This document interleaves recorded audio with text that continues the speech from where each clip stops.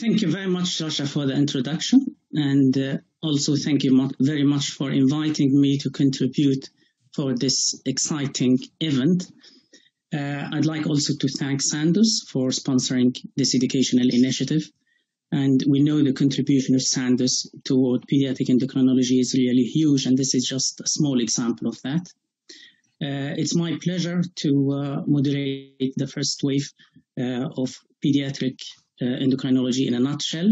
And uh, as Rasha mentioned, this wave is going to uh, focus mainly on two areas of pediatric endocrinology, namely growth and subclinical or growth hormone deficiency and subclinical hypothyroidism. Uh, I don't know if you can see my screen. Can you see my screen, Rasha?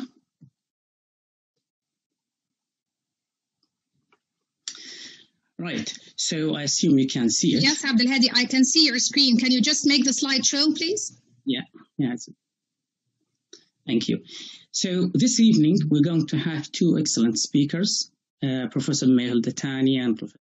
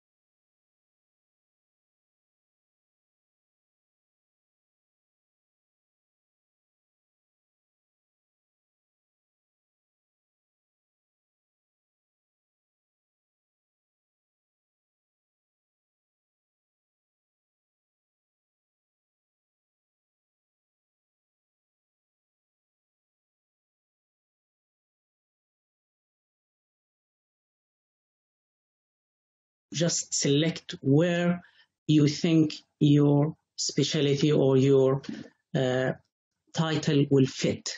Are you a pediatric endocrinologist, general pediatrician, general practitioner, adult endocrinologist, and if you are not any of these four, you can just tick none of the above. And this will give us really an, an idea on the level of audience who are with us tonight. Very good. So now I got an answer. This is the majority are general pediatrician followed by pediatric endocrinologist, and there are maybe one or two adult endocrinologists. Now, there's one thing I'd like you to, to remember is you will receive the online certificate uh, by email uh, next within the next 48 hours, hopefully. So it's my pleasure to introduce uh, my good friend, Professor Mehul Dattani. And I have to say, uh, Mehul is uh, a world expert in growth and pituitary disorder. Uh, he is one of the few people who can master uh, clinical work, research, as well as management. Uh, Mehul has been leading uh, a very busy endocrine service at the Great Ormond Street uh, Hospital for Children and University College or University College London for the last few years. Uh, he, at the same time, he's also the president of the European Society for Pediatric Endocrinology. And uh, recently, he's also co-chairing the pituitary main uh, thematic group of the endocrine or the European Endocrine Reference Network initiative.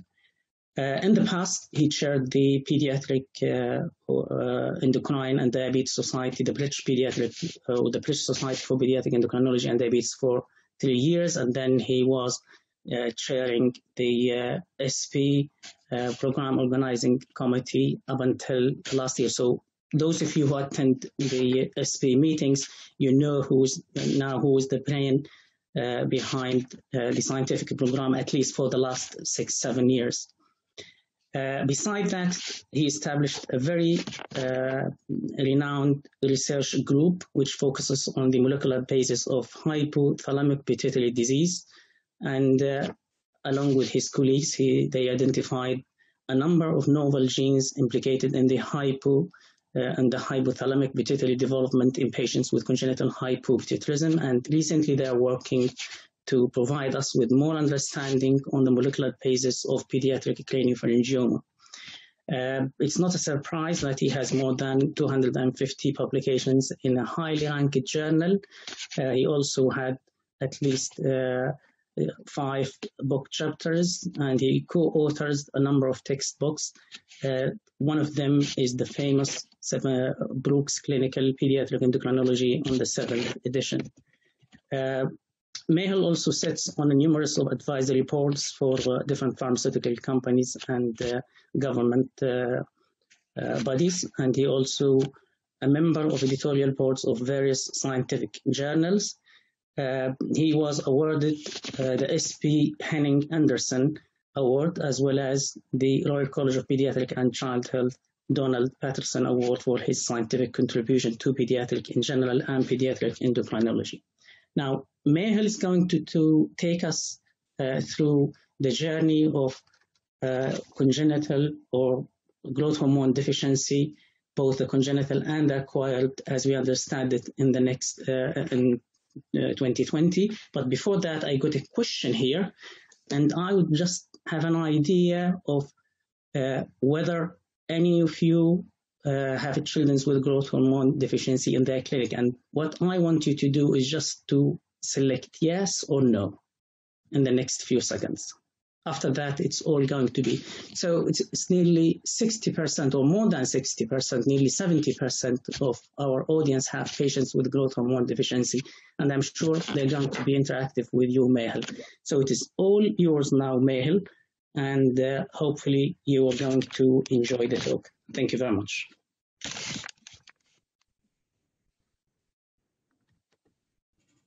Okay, uh, thank you very much, Abdul Habeb, for that uh, nice introduction. And thank you to Rasha for inviting me as well. So, so I think I need to share uh, my screen now. So try and get that. Okay. Okay. Okay, so um, is the screen okay? Can you see it? Yep. So I'm going to talk a little bit about the diagnosis and management of growth hormone deficiency, uh, and I've called it an update for 2020. But really, the work summarizes of some of some of the advances over the last few years uh, in the area. So uh, basically, this is uh, a classic sort of slide uh, showing you the infancy, childhood, pubertal model of growth. And it's a slide that was created in the 18th century by Comte de Montbeillard of his son, and here you see the distance uh, curve and the velocity curve for growth. And what you see here is that there are clearly three phases of growth, the infancy, childhood, and pubertal phase. And again, in the velocity, you start off uh, after birth with a very high growth velocity, rapidly declining in the first two to three years of life, steady rate in childhood, dip here just before the onset of the pubertal growth spurt, then you have the pubertal growth spurt, with cessation of growth thereafter. And this is really what most children should follow in their lives.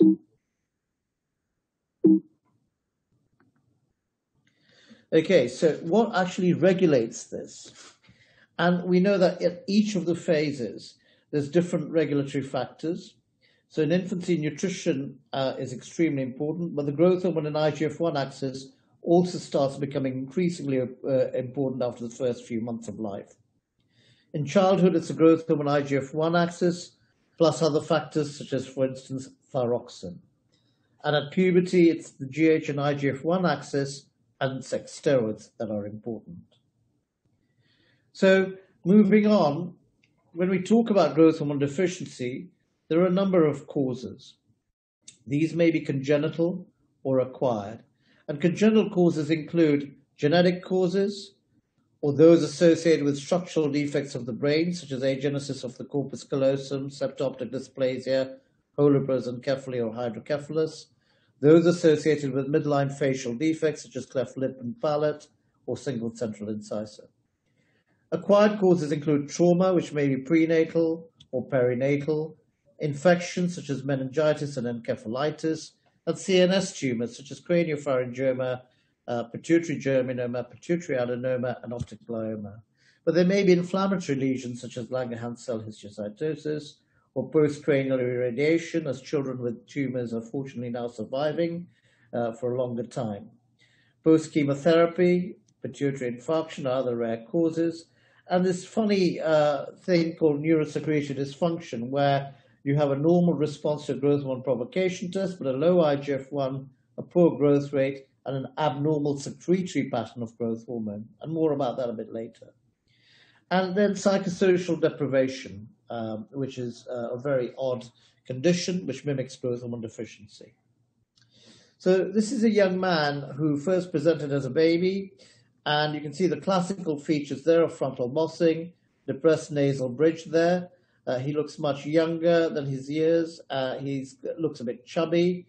Uh, and basically, he may have a history of early uh, hypoglycemia or jaundice. He may have a family history of the condition. Uh, and, the, and then the classic physical findings, which are listed there. Uh, and I've already talked about some of them. But he may have delayed dentition, bone maturation, increased subcutaneous fat, reduced muscle mass with delayed gross motor skills, uh, thin, sparse hair, a high pitched voice, slow nail growth. And if you haven't got all that, then he may present later on with short stature and a poor growth velocity. And this child indeed is growth hormone deficient and later turned out to have a mutation in the gene that makes growth hormone, the growth hormone, uh, the GH1 gene. So the first question, any child with a height of less than minus two standard deviation score should be investigated with a GH provocation test to exclude a diagnosis of GH deficiency. True or false?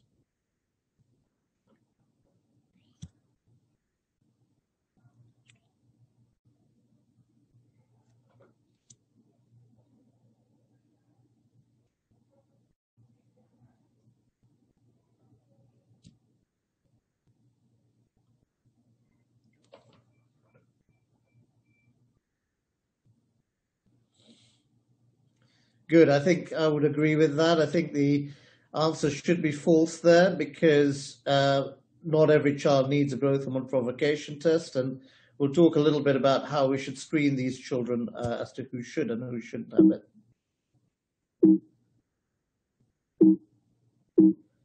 Sorry, I think uh, it's a bit stuck. Right. Okay. Okay.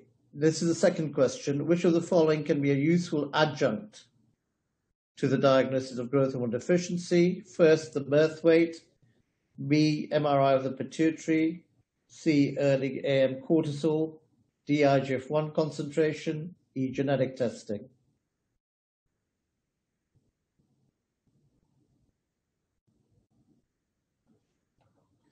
if you vote now, and then we can look at the results.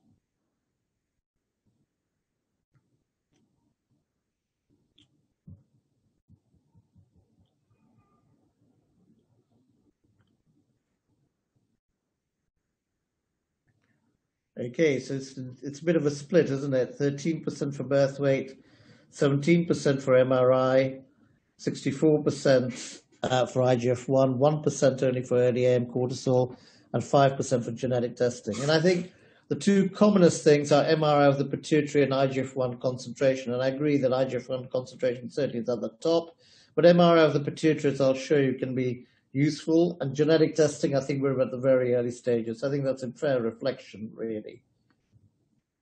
Okay, so when we first exa examine a child who we suspect of having growth hormone deficiency, what we should look at is first of all the auxology. So this is the assessment of the height and weight um, and other markers such as skin fold thicknesses, etc. Uh, then uh, biochemical assessment, the use of neuroimaging, which we'll discuss, and the use of genetics. And basically, biochemistry includes direct growth hormone measurements, usually after provocation, the measurement of IGF-1 and IGF-BP3, and the measurement of other hormones to look for combined pituitary hormone deficiency. Now, looking at the auxology first of all, this is a study we did retrospectively many years ago, and basically looked at 39 children who were congenital, congenitally growth hormone deficient, and basically they were treated uh, uh, quite late. Um, you know, some of them weren't treated for up to two, two years, and they were monitored carefully at that time. And what we see here is the isolated GHD in white, the combined pituitary hormone deficiency in gray, and in black there are those children with midline defects as well as pituitary hormone deficiencies. And first of all, you see the effect here on weight. And what you can see is that with all of them, the weight does go down, but less so with the midline defects and the combined pituitary hormone deficiency.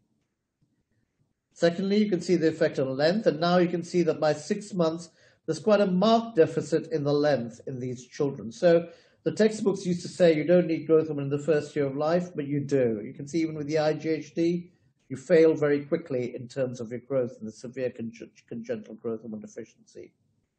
And finally, BMI, and it's interesting to see that the BMI is spared or actually increased in those with midline defects and combined pituitary hormone deficiencies.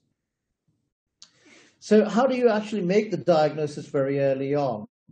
And this is a nice study from Gerhard Binder, where they looked at neonatal screening cards in normal children and in severe GHD babies in retrospect. And they measured GH on a highly sensitive polyclonal ELISA, and they used a cutoff of 7 micrograms per liter, which gave them 100% sensitivity. So you picked up all the children with GHD and 98% specificity. So excluded all the normal children. So fantastic results, but obviously not all of us have uh, access to this. And, you know, prospectively, it's quite difficult to suspect GHD early on. So how do you really diagnose it in the real world? And in the UK, we're expected to do two tests to establish a diagnosis of GHD or GH insufficiency. One test if the child's got CNS pathology, irradiated previously, has multiple pituitary hormone deficiency or a genetic defect. And the tests of GH secretion include physiological tests such as sleep, exercise, and 24 hour profiles, pharmacological provocation tests such as an insulin tolerance test, clonidine, glucagon, arginine, and GHRH tests, and surrogate markers, the use of IGF-1 and IGF-BP3. Now, in practice, most of us will use the surrogate markers and a pharmacological provocation test. The problem is that there are too many tests. Uh, more than 34 different tests and 189 different combinations reported. There is no gold standard, and there's a lack of normative data. We can't perform GH stimulation tests in completely normal children ethically. And the tests show poor reproducibility. So sometimes you do a test on one day, you'll get one result. On another day, you'll get another result. And it says a continuous distribution of growth hormone and of stature. So it's difficult to then say we're going to get a cutoff which is going to reflect, uh, you know, whether a child's growth hormone deficient or not.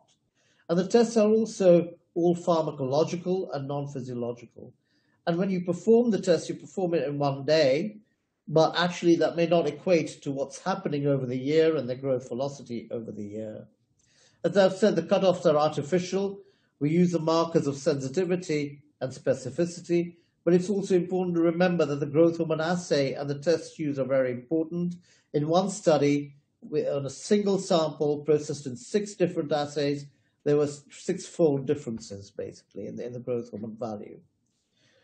The tests can be hazardous, and deaths have been reported with both glucagon tests and ITTs, usually with overcorrection of hypoglycemia. And these tests can be difficult to interpret in obese children, as I'll show you in a minute.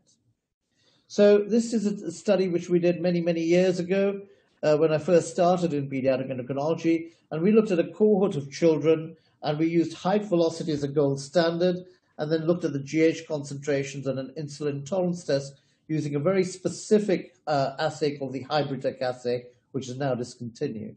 And what you see is if you've got a lower cutoff, you're good at excluding normal children, so your specificity is high, but you don't pick up all children with growth hormone deficiency.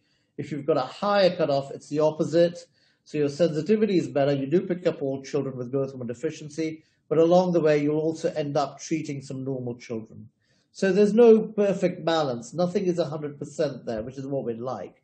But this is life and it doesn't exist. Uh, the, the perfection doesn't exist for stimulation tests. What about the variability between tests? So this is a nice study from Mohammed Maghnie's group uh, in 2009, and they looked at 48 children who were shown to be growth hormone deficient on an insulin tolerance test and an arginine test, and they had a glucagon test on a separate day. Now their cutoffs was 10 micrograms per liter, which arguably is a little bit higher. And basically what that showed was that the median GH peak was higher in response to the glucagon test, and that 28 out of the 48 patients actually passed the glucagon test, but yet had failed the ITT and arginine test. And there was no difference in whether they were IGHD or MPHD patients, and no difference whether or not they had structural defects of the HP axis. What about the use of sex steroid priming? So I tend to use sex steroid priming, and I'm a believer in this, but it's a controversial area in pediatric endocrinology. So GH responsiveness to provocation is increased by estrogen. Now, this ESPE survey performed a few years ago showed that sex steroid priming was used for boys by only 50% of respondents and for girls by 41%. And in the US, it was shown that two thirds of US pediatric endocrinologists do not use priming. Now, this study by Marin et al. is quite important because it showed that 61% of normal Tanner stage 1 and 44% of normal Tanner stage 2, so these are normal children, failed GH provocation tests without priming, and the response is improved by estrogen priming. But actually, it's a study by Martinez et al., which is a nice controlled study, small numbers, but nevertheless an important study. 15 short prepubertal GHD children compared with 44 short normal children. And they did a blind RCT. So they used micronized uh, uh, estradiol valerate for three days or placebo prior to the arginine clonidine test. And then they crossed over to the opposite treatment four weeks later and repeated the process. And what they find is in the short normal children, or uh, the, the short stature children with normal endocrinology, uh, what you would find is basically the mean basal GH increased uh, on estrogen. And also there was an increase in the maximum GH in, in that cohort. Compared to the GHD, where priming really didn't change it. So priming is useful, basically, for actually differentiating between your short normals and your GHD patients uh, more effectively. And its greatest benefit is in those aged 8 to 12 years. So this uh, ESPE uh, consensus uh, by the Clinical Practice Committee in 2010 recommended priming in girls aged uh, over 11 and a half years and boys aged over 13 years who show either no or early signs of puberty. Now, I'd argue that maybe you need to use lower cutoffs of 10 years, maybe 11 years or thereabouts. What about obesity? How does that affect growth hormone secretion? So several studies have shown that endogenous growth hormone secretion is negatively correlated to body mass index in children. And this study by Stanley et al. in 2009 was very well uh, performed. It looked at the effect of BMI on peak GH to provocation, looking at 116 children the only criticism is they did use a variety of unprimed uh, stimulation tests. However, stepwise multivariate regression analysis showed that BMI, the type of the stimulation test, and the log of IGF-1 were the only significant predictors of the log of the peak growth hormone. And BMI SDS significantly and negatively correlated with the log peak GH, as I'll show you here. So this is all the children and the prepubertal children. And what you can see is the higher the BMI, the lower your growth hormone. What's even more important to realize is that this can occur within a normal weight cohort, basically. So these are children whose uh, weights range, say, from uh, minus one SDS to greater than one SDS here. And the higher the BMI, the more likely you are to fail the GH provocation test. And they're not excessively obese either. What about IGF-1 and IGF-BP3? So when these uh, uh, measurements first came in, uh, everybody thought we had the answer and we wouldn't need to do GH provocation tests. We could just use these uh, measurements. IGF-1 is a product of the interaction of growth hormone with its somatogenic receptor in the liver, and it binds to six binding proteins, of which IGF-BP3 is the most abundant also growth hormone regulated, and it bind, both IGF-1 and IGF-BP3 bind to an acid labile subunit and form a high molecular weight ternary complex, which is essential for normal growth. As I've said, both IGF-1 and BP3 are GH dependent, but it's important to remember that IGF-1 may be low in malnourished children, in children with liver or renal disease, and in children with hypothyroidism. So these are our data really looking at, again, children who are GH insufficient and those who were non-GH insufficient, basically. And you can see that there is an overlap in the IGF-1 SDS in these groups, prepubertal, pubertal, uh, and really you can't really distinguish between the two cohorts easily here. Same is true of IGF-BP3. Maybe at puberty it's a bit of a better, better uh, um, uh, disting distinguishing between the two cohorts. So I'm now going to move on to my first case. So this is a girl who presented at the age of 3.4 years to me with short stature, height minus 3.8 standard deviation scores, weight minus 1.9 SDS. Height velocity was low at 3.6 centimeters per year. She had frontal bossing and depressed nasal bridge. Uh, there was little else of note in her history. She had a good birth weight, parents were non-consanguineous, and she was otherwise generally well and developing normally. Karyotype was normal, uh, the thyroid hormone uh, was normal, the cortisol was normal, uh, IGF-1 was completely undetectable, IGF-BP3 low normal. So I looked at it and I thought this has to be growth hormone deficiency. You know, let's just do the test and prove it, and we'll see. So I did a glucagon test, and what you can see here is that she had an excellent growth hormone peak of 21.1 uh, micrograms per liter, which is pretty high. Normal cortisol as well, with a peak of 960. But it's interesting here because she's hypoglycemic at the start of the test with a blood glucose of 2.9. And actually, those growth hormone values weren't particularly high there. So, severe short stature, poor growth velocity, clinical findings of GHD, low IGF-1, and a normal GH response at stimulation. What would you do next? A, perform an IGF-1 generation test. B, perform an overnight growth hormone profile. C, perform an MRI scan of the brain and pituitary. D is B and C together. And E, watch and wait.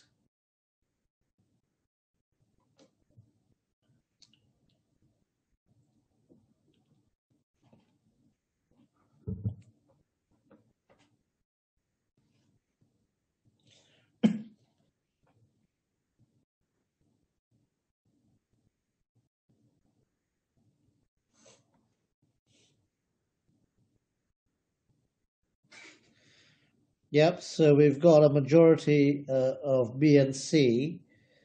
Um, okay.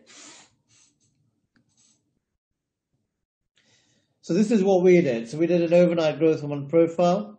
And normally you should get three good peaks of over seven micrograms per liter. She got one peak just over that. And then we did an MRI. And what that showed us is that she has a small anterior pituitary and an ectopic posterior pituitary here. Okay. And there's no stalk connecting the two.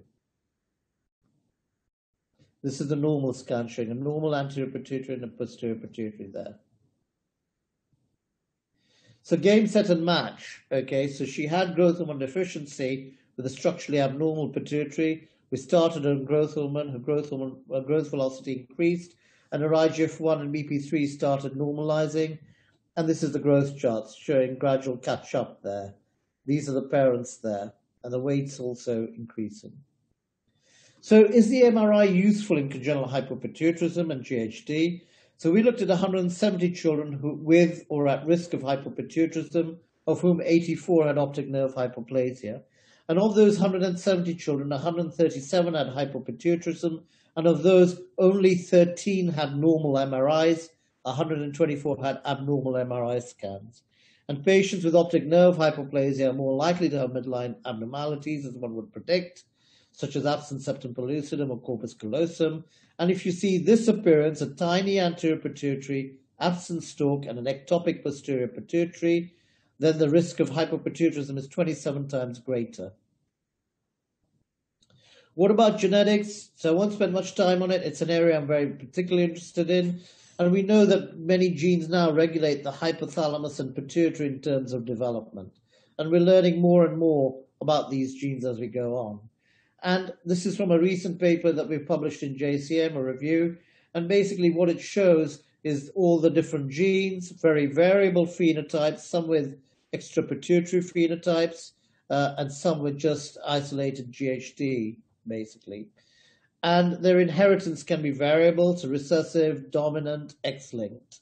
So really a very variable feast, and there's more. So this is the second slide. And so you can see that there are already around 30 to 35 genes implicated, and more and more come to light. But generally, these account for very small proportions of all the cases. This is a, just uh, to show you uh, one example of the genetics. And these are the dwarfs of Sindh, as they're called. This is a normal adult endocrinologist, and the two patients are both adults here, never been treated with GH. So in our experience, we did screen children with IGHD, 224 patients, 77% sporadic, 23% familial, and we found changes in GH1 and GHRHR in 41 patients from 21 pedigrees. And we found GH1 mutations in 26 patients, of which four were novel, 7% of the overall cohort, but 77% of those patients were familial cases. GHRHR, 15 patients from seven unrelated families, all of Asian origin. Uh, three had novel mutations, and it was 3.7% of the cohort, and as I've said, all familial. And this is just one such family where we had in fact, two families. In the first family, we had three affected. In the second family, only one. Both were consanguineous pedigrees. And basically, uh, these two boys presented quite late on with relatively subtle short stature, heights of minus 2 and minus 1.23 SDS. And they had anterior pituitary hyperplasia, complete GH deficiency.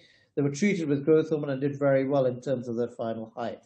The sister, on the other hand, had never been treated, and she also had the GHRHR mutation, uh, but she got a height of 146, and her mother was 145. So these are very subtle abnormalities in terms of height, uh, with mild loss of function mutations. And this girl presented earlier and did very well on her growth hormone treatment with a good final height of 166 centimeters. And this is their growth chart. So uh, mild sort of deceleration, not classic congenital growth hormone deficiency, but done beautifully really on growth hormone treatment. And have a small anterior pituitary, which is structurally normal on MRI. What about treatment of growth hormone? So we use recombinant human growth hormone, 20 to 35 micrograms per kilogram per day. And that achieves increase in growth velocity and an adult height of minus 0.8 to minus 1.5 SDS and these are the KIGS data, which I'll show you in a minute. There are controversies. What is the best dose? What do you start with? Do you, how do you increase it? How do you monitor it? Do you use IGF-1 to change your dose? Um, what about increasing the doses at puberty? What about responsiveness? Um, what makes one patient different from another in terms of responsiveness? The major factors affecting final height are peak growth hormone, parental height, and the age at the start of growth hormone. And so this is the big KIG study showing the starting height and near adult height in males and females uh, in, in, a large cohort of Caucasian children with idiopathic growth hormone deficiency. And generally they do well with treatment. But it's important to start early. And studies have shown that the delta height SDS is associated with age and GH treatment start the earlier you start treatment, the greater the height gains, uh, basically. And this is shown here in this uh, bar chart, where the early children got a better delta height SDS from baseline to near adult height than those who started late. And this is shown nicely in this uh, patient uh, who presented quite late, and you can see that they'd already lost a lot of ground. Growth hormone was started, but they never made it to the mid-parental height there, because the growth hormone was started so late.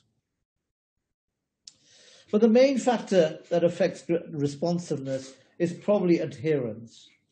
And this is a chronic condition involving daily injections. and this can impair adult height if they do not take it. So there are challenges now because we have fewer resources available to monitor patients' adherence. We have less CNS support. And an epidemic like uh, or pandemic like COVID, for instance, where there's less contact with the patients might make the whole thing worse. Now, up to 82% of pediatric patients miss some doses, depending on which study you read. And this is unrelated to the age, sex, and underlying diagnosis. But adherence patterns do change during treatment. So many children start off well and then don't adhere after that. And this study by Cutfield et al. looked at 177 patients, and they looked at the number of GH vials requested and the number returned. And 66% of patients were non-compliant with less than 85% adherence, and the compliance is associated with the height velocity SDS. As you can see here, this is the low compliance, missing more than three injections a week, medium compliance, missing more than one, and high compliance, missing only one injection per week. And you can see that the height velocity is better with the higher compliance. What about safety of growth hormone? There have been a number of studies recently. And how do you monitor safety? So we use IGF-1 and IGF-BP3 to monitor this, but there are very few long-term data looking at that. There are safety issues. Benign intracranial hypertension, for instance, is a rare complication, but nevertheless important. And there have been previous studies which show that pituitary-derived growth hormone administered in high doses can be associated with Creutzfeldt-Jakob disease and colonic cancer. And there's a risk of type 2 diabetes, particularly in organic forms of GHD versus idiopathic. And obviously, malignancy is the one worry. Data from large databases suggests that growth hormone does not increase the risk for new malignancy in children without risk factors, but may increase the risk of second malignancy in previously treated children. And so the big study recently that's been published is the safety and appropriateness of growth hormone treatment in Europe, the SAGE study, looking at around 30,000 low-risk children treated with growth hormone between 1980 to 1990 from eight countries who had attained 18 years by the census date of 2009 to 2010.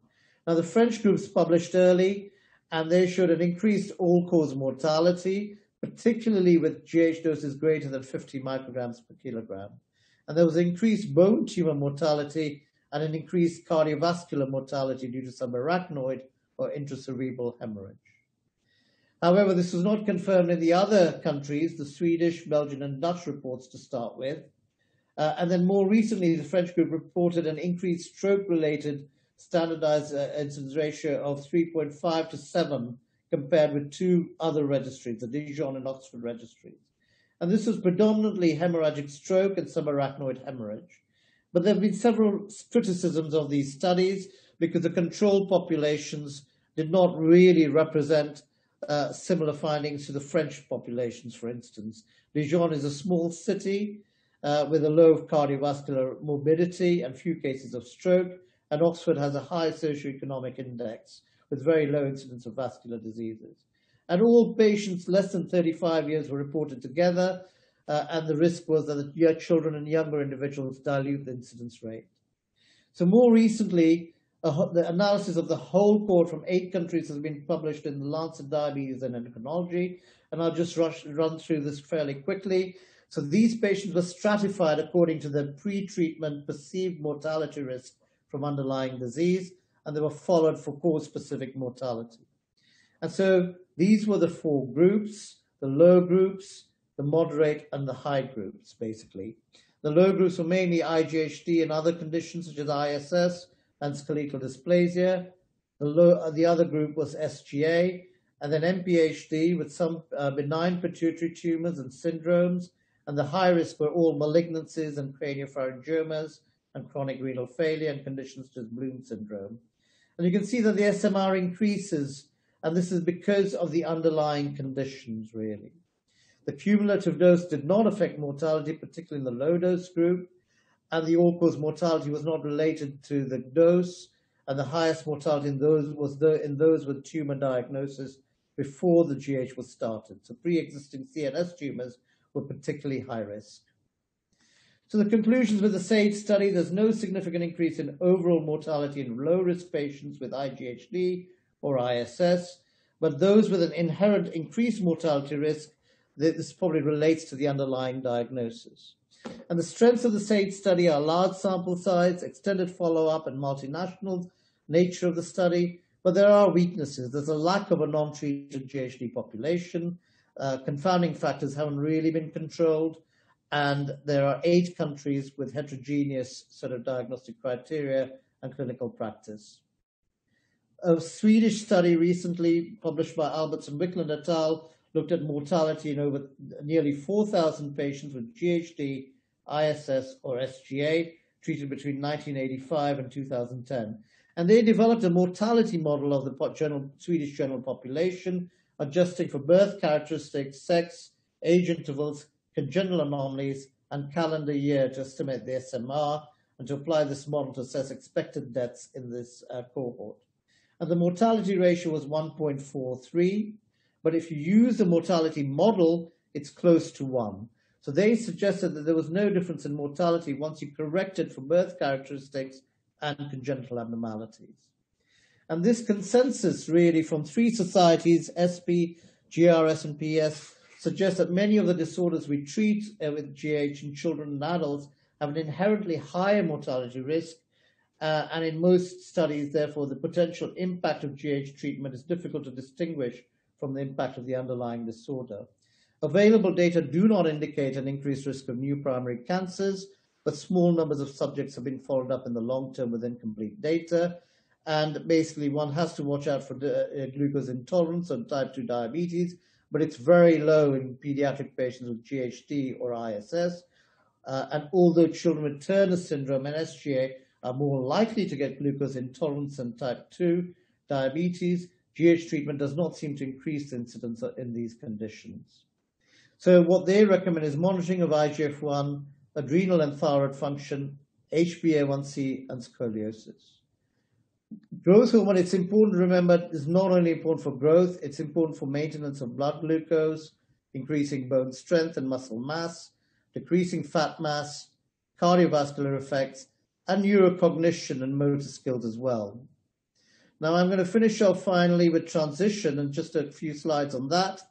Transitioning GHD is a big topic. Uh, it's GHD in uh, adults are now treated with growth hormone for body composition normalization, and the recommendation is that they should be retested at the time of transition. But those with three or more pituitary hormone deficiencies and a low IGF-1 or genetic hypopituitarism do not need a retest. The tests, ITT and GHRH and arginine are the most commonly used, and the cutoff is 5 micrograms per liter for ITT and 19 micrograms per liter for GHRH arginine, depending on the body mass index. But more recent studies have suggested maybe the cutoff should be 5.6 micrograms per liter on an ITT. What's important to know is that 25 to 75% of GHD patients reverse their GHD at the time of transition. And there are a number of studies, and I don't have the time to go into those in detail. This study by Tauber et al. showed that on retesting, around 62% of patients had a greater than 10 microgram per liter response, and these included both patients with partial GHD or those who were felt to be complete GHD previously. Other studies have shown reversal as well. This study by Maghnie et al., who suggested that those with an ectopic posterior pituitary do not normally reverse their growth hormone deficiency, whereas those with a normal posterior pituitary are more likely to. But Leger et al. showed that even those with an ectopic posterior pituitary, in 22% of these patients, reverse as well. And this study from Manchester showed that those with ectopic posterior pituitary uh, do have lower growth hormone concentrations generally, but a small proportion do reverse as well. So more recently, there have been studies showing early reversal of GHD. So these studies have tested GHD patients as they enter puberty, not as they finish puberty. So these are all patients who have a structurally normal pituitary, and the reversal rate is reported to be uh, up to 49%, basically. And these are studies, uh, basically, that have shown that GH discontinuation in those with GHD reversal does not lead to a reduction in final height. So if they reverse in early puberty and you stop GH, basically they will still achieve a reasonable final height compared to those who continue with the GH. So finally, this uh, case two, just to illustrate a couple of points here. This child presented at the age of 7.5 years, male with short stature. He had two sisters growing normally, and there was a past history of previous bilateral orchidopexies, but importantly, emotional, physical, and sexual abuse. The child showed growth deceleration and hyperphagia, thought to be due to emotional deprivation. However, when the child was fostered at the age of four years, and his hyperphagia improved, but the growth did not accelerate. Normal thyroid function, celiac screen, and inflammatory markers, and a low IGF-1. And a glucagon test was performed showing a peak that was deficient at 4.9 micrograms per liter. The MRI was structurally normal but showed a small anterior pituitary, and so he was started in growth hormone treatment at the age of eight years. He didn't go into puberty, at the age of 13.9 years. And so we did an LHRH test, showed a low LH. We did a three day and three week test and suboptimal three day response to testosterone and three week response to testosterone as well. So we thought he had hypergonadotrophic hypergonadism and we added testosterone to the growth hormone. Then he did very well. He got a very good height there, as you can see, above the 50th centile and we decided to retest him at transition. He could, and his ITT now showed a normal peak of 7.7 micrograms per liter. His LHRH test was normal of testosterone, and his testosterone was completely normal. So previous history of emotional deprivation, childhood growth hormone deficiency, normal or small anterior pituitary on MRI, excellent response to GH treatment, GH deficiency transitioned uh, to normality and pubertal delay with good testicular progression on testosterone treatment, but later normal testicular function. What do you think is the most likely diagnosis here? A, GH deficiency due to emotional deprivation. B, transient childhood GH deficiency reversing at the time of transition. C, constitutional growth delay. D, organic GH deficiency.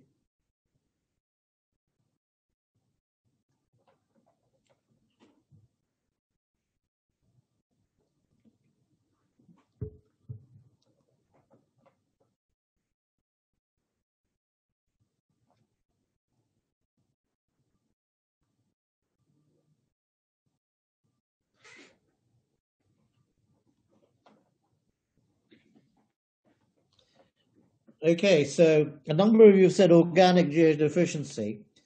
I would disagree with that because I think this child probably had emotional abuse. And I know even in foster care, he wasn't growing particularly well.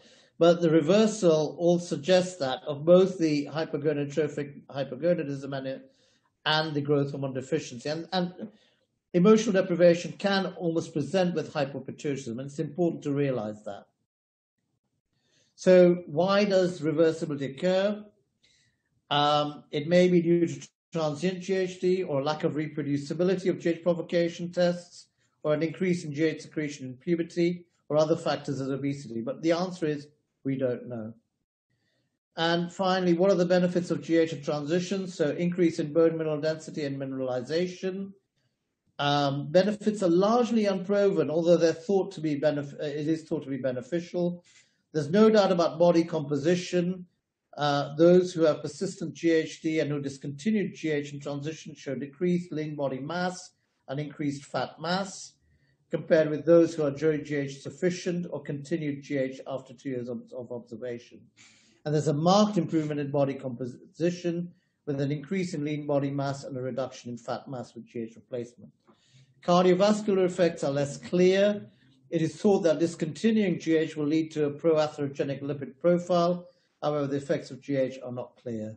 And there are less clear effects on insulin sensitivity and quality of life. So to conclude, GHD can be a challenging diagnosis. It's a combination, really, of clinical, biochemical, neuroradiological, and genetic data. And that you've got to remember the wider effects of GH on body mass, uh, uh, sorry, bone mass, uh, lean body mass, uh, cardiovascular, neurocognitive, and safety is extremely important to consider. There are ongoing studies, and there's a need for ongoing surveillance. So thank you for your attention.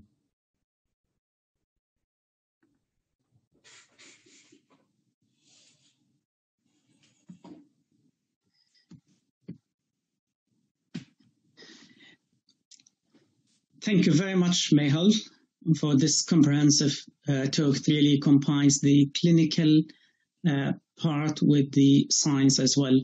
And I'm sure there will be a lot of questions. I can see at least five, six very good questions, which will probably take some time to answer and debate. Now, I think the next, we're, we're going to move to the next speaker, and then we'll have the question and answer session at the end. And it's always my pleasure, really, to uh, introduce uh, Professor uh, Rasha Tarif Hamza. You all know Rasha. I'm sure everybody in the audience is very familiar with the with the name, and uh, she is really one of the best speakers, not only in Egypt, but I think in the Middle East and uh, in the Mediterranean basin in general. And uh, I have uh, known Rasha for a number of years. We shared lots of uh, committees and uh, uh, and activities, and we did some research work together. We published one or two papers, and Rasha, as you know, she is a professor of pediatric endocrinology uh, at Ain Shams University in Cairo, and she is the chair of the Education and Training Committee of the European Society for Pediatric Endocrinology. And I have to say, this is the first time for anybody from outside Europe to chair uh, this important committee in the ESPE. So we're very proud to have her chairing this committee. Uh, in addition, she is one of the founders of the Arab Society for Pediatric Endocrinology and Diabetes, and currently uh, she is the vice president for this society for the last uh, two years. Uh, she has been invited speaker for uh, and faculty member in various local, regional, and international conferences, as well as uh, teaching in several ESPE as well as ASPED School. Uh, is a key opinion leader in pediatric endocrinology, not just in Egypt or the Middle East, but I think she's uh, she's one of the key leaders in the ESPE as well. And uh, she sets in a number of advisory reports and editorial reports, including the Journal of Pediatric Endocrinology uh, and Metabolism. Uh, she has a lot of uh, interest in different areas of pediatric endocrinologies. I mentioned here, or listed here, the growth, puberty, bone, DSD and obesity, but I can tell you that she's she also has some interest in uh, certain aspects of diabetes as well as thyroid, and she published in all uh, these areas. She was uh, awarded the best student for ESPE Winter School in 2006, and again, this is I think the first uh, uh, student from the Middle East to uh, to get this award and uh, based on that, she uh, she was asked to host two winter uh, ESPE winter schools uh, in 2008 and 2018. Now, Rasha is going to talk to you about subclinical hypothyroidism, and the title of her talk will be uh, to answer the question is should we treat these patients or not? And before we listen to uh, Rasha, I would like to take your opinion or the audience opinion on whether to treat these patients or not? And I would question here, do you think children with subclinical hypothyroidism should be treated with thyroxine? And if you think it's yes, you just press yes. If you think no, you can just press no. And if you're not sure, listen to Rasha. And I think that's the, the safest answer is to say, I don't know, but it's really up to you. And I'm sure Rasha will explain this in details in her talk. And then we're going to repeat this question after the, the lecture as well. So it is all you, Rasha. And uh, thank you, Abdelhadi. Would you like to, to look at the answer, the vote answer? Yes. Oh yeah, yeah, that's very good. Uh, well, only few people said we don't know. Uh, only 15%. The majority said yes, and uh, I think nearly the third said no. I'm sure this will change after your talk, Rasha. Yeah, let's yeah, see. okay, yeah, let's see. Yours. Thank you. I'll try to share my screen and please let me know if it's shared or not. I didn't ask whether my screen was shared or not. No problem. You did it very well. You don't need a screen. Is my screen shared? Yes, it is. Okay. Thank you, Abdelhadi, for the very kind introdu introduction. That's uh, too much for me. Thank you so much You're so generous. Thank you very much. Uh, and after listening to uh, Mehul's great lecture, we leave the growth hormone and let's take a taste of the thyroid gland. And you all answered the question that Abdelhadi asked you before my talk. And let's see whether you're going to change your mind or stay as you are. Uh, I'll speak about pediatric subclinical hypothyroidism, and hopefully I'll try to answer the question to treat or uh, not to treat. We all know the classification of hypothyroidism, whether being primary, secondary, or subclinical hypothyroidism. And the definition of subclinical hypothyroidism is having elevated TSH with normal T4 it's usually asymptomatic in children, and therefore it is a biochemical diagnosis. When facing a child with subclinical hypothyroidism, the frequently asked questions by the parents and maybe the questions in the mind of the pediatric endocrinologist are, is it transient and will resolve? Could it progress to overt hypothyroidism?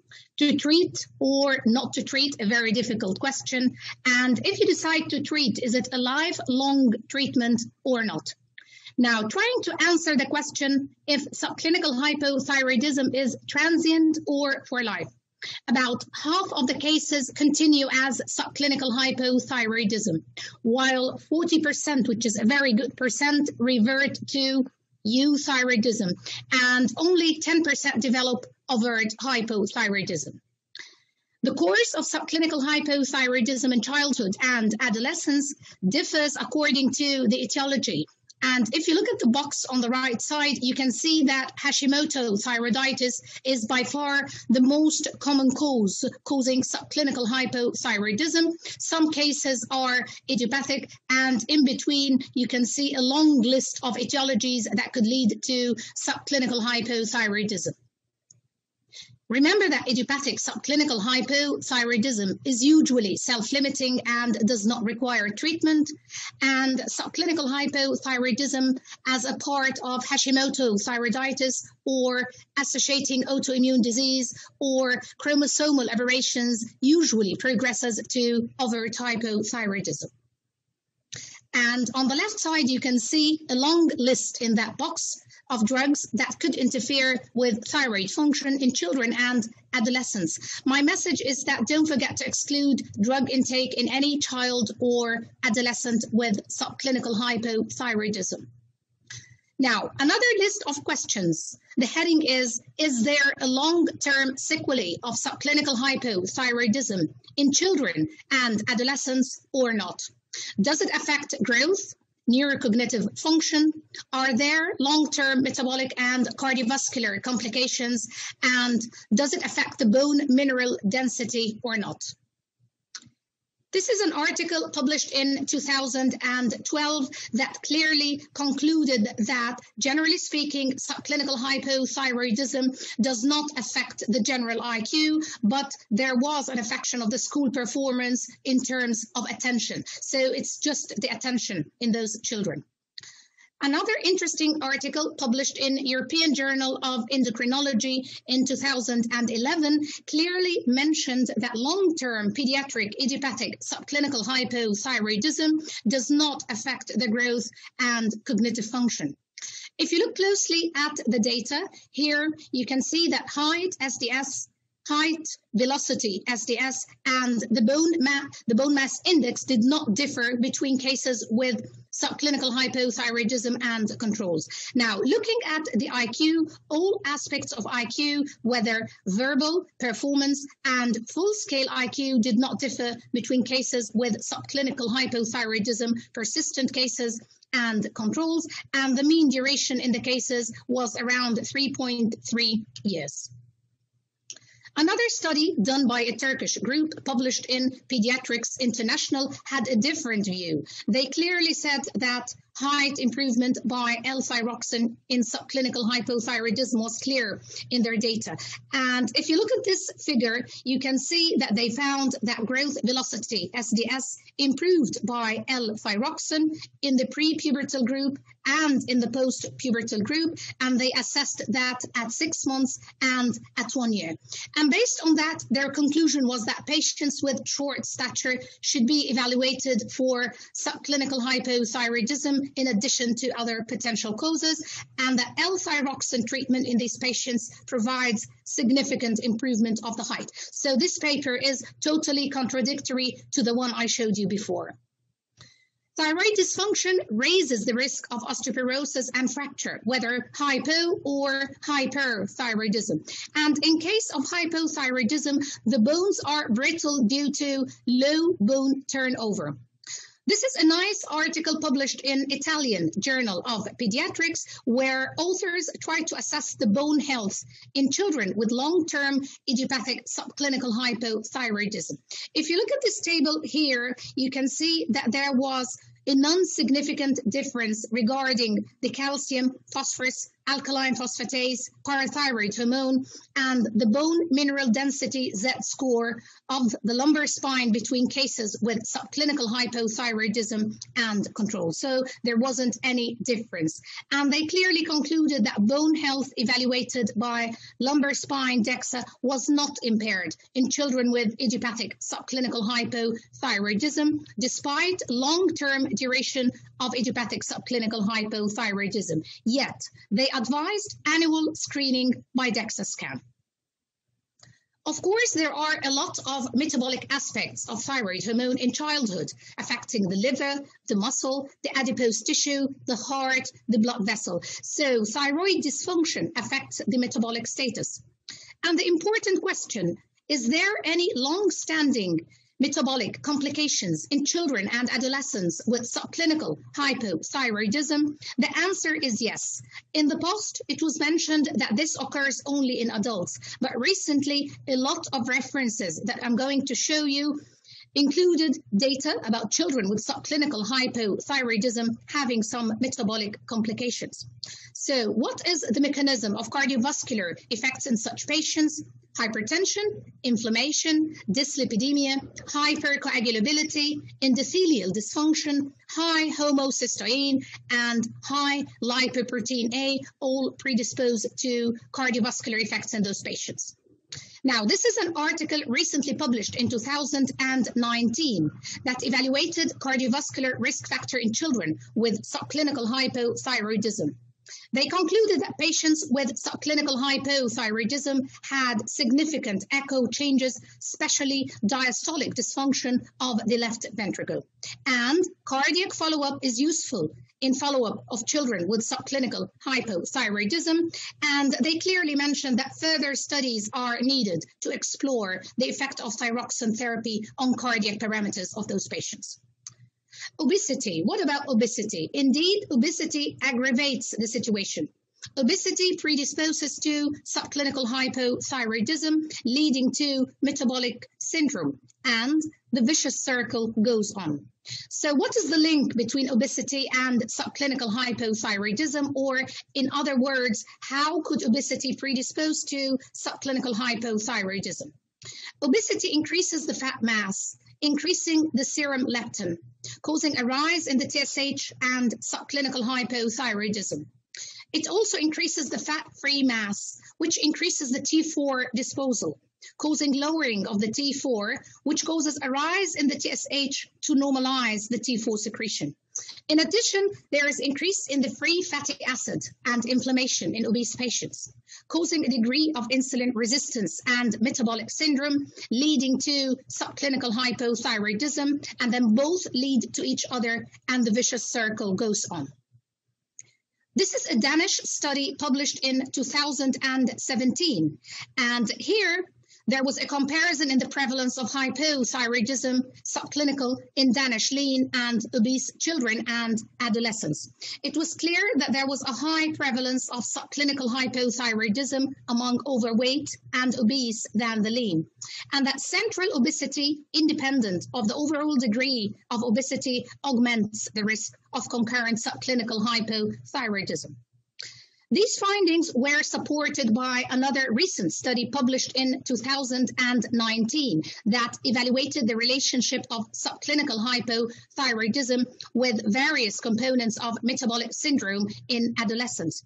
And what they found is that among the components of metabolic syndrome, the risk of abdominal obesity and hypertension was higher in subclinical hypothyroidism than euthyroid subject. So indeed, there are metabolic complications. Another article published in Journal of Pediatrics and Child Health in 2018 looked at the prevalence of subclinical hypothyroidism in obese children and adolescents and correlated it to various components of metabolic syndrome. And this is what they found. There was a significant positive correlation with lipid profile, the total cholesterol, HDL, triglyceride, but it was only significant for the triglycerides. Again, is there a relation between subclinical hypothyroidism and non-alcoholic fatty liver disease or NAFLD? This paper answered the question. What they found first is that the higher the TSH, the more the left ventricular mass and index and carotid intima media thickness. And they concluded that obese adolescents with NAFLD and subclinical hypothyroidism had a more adverse cardiovascular risk profile than those without subclinical hypothyroidism, and that thyroid dysfunction might play a role in the pathogenesis of NAFLD. How does subclinical hypothyroidism predispose to NAFLD or NASH? Simply, hypothyroidism increases the leptin, the FGF1, and it increases the triglycerides and cholesterol, creating a degree of hepatic insulin resistance ending by non-alcoholic fatty liver disease. So you can see a lot of metabolic complications are being associated with subclinical hypothyroidism. Now, the very difficult question to treat or not to treat children with subclinical hypothyroidism? Or in other way, which way shall we go? Would you like to give L-thyroxine or not? A very difficult question. In most of the references, it was clearly written that there is no clear consensus till now. Now, let's start by this case. This is an eight-year-old boy with accidentally discovered subclinical hypothyroidism. His BMI and height SDS are normal, negative family history of thyroid disease. The boy is completely asymptomatic. He does not have any goiter. His TSH was found to be high, 7.8. His free T4 is normal. Thyroid antibodies are negative and the thyroid ultrasound is normal. Now, what would you like to do for this boy? Please help me and vote with me. What would you like to do and how would you like to proceed in such a case? Would you like to start L-thyroxine treatment or follow up thyroid functions after three months or no further follow-up is needed. The boy is asymptomatic and you don't want to do anything for the boy. Please help me in this.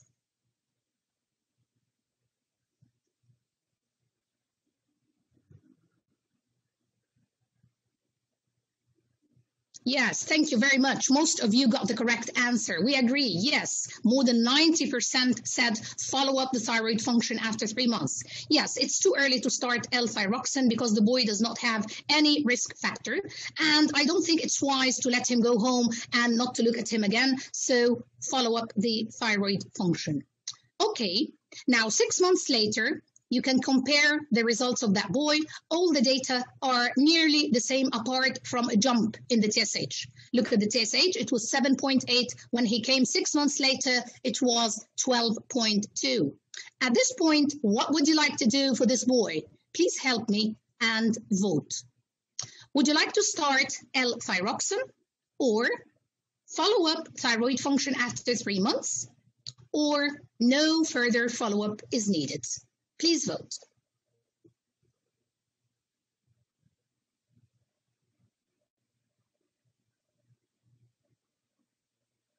Yes, thank you very much. Most of you got the correct answer, more than 80%. Yes, it's wise to start thyroxine because if the TSH exceeds 10, you have to start treatment, whatever the circumstances, to avoid complications.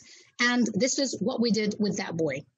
Now, another 10 year old boy whose BMI and height were normal has got an aunt with maternal Graves' disease, has got an aunt with Graves' disease. The boy is asymptomatic. He doesn't have any problems regarding the thyroid apart from having goiter, grade 2.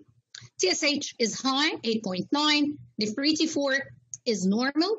The thyroid antibodies are positive, and the ultrasound revealed goiter with heterogeneous echo texture.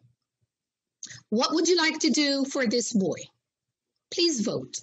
Would you like to start L-thyroxine treatment or follow up the thyroid function after three months or no further follow-up? The boy is asymptomatic and you don't want to do anything for that boy. Please help me.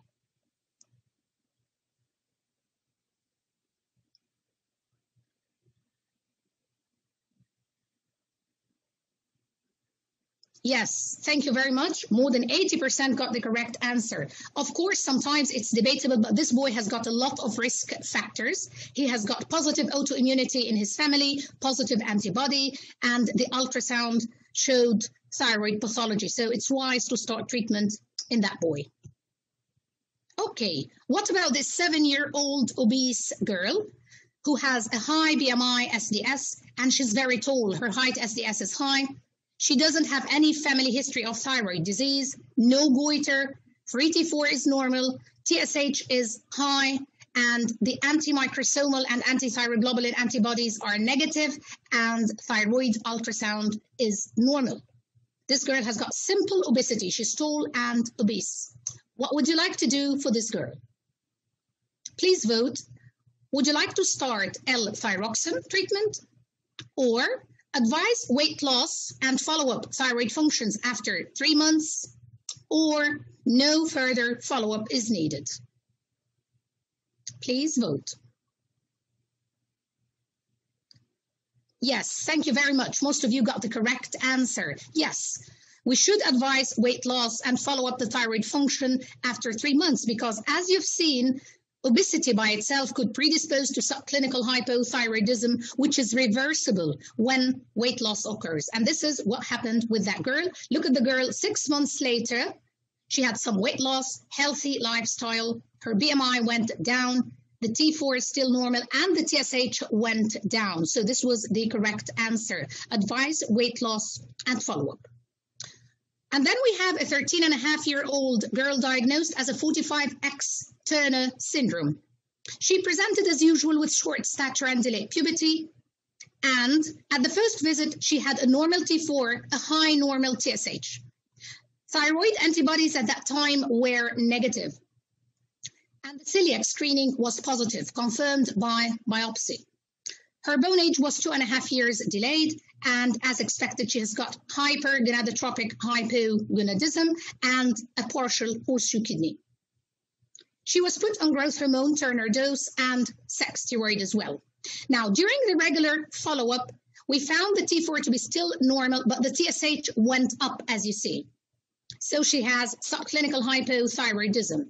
And the antibodies turned positive, and the bone age was more delayed than before, three years delay. Now, at this point, what would you like to do for this Turner girl? Please vote with me. Would you like to start L-thyroxine treatment? Or follow up the thyroid functions after three months, or no further follow up is needed. Just leave her alone. Please vote.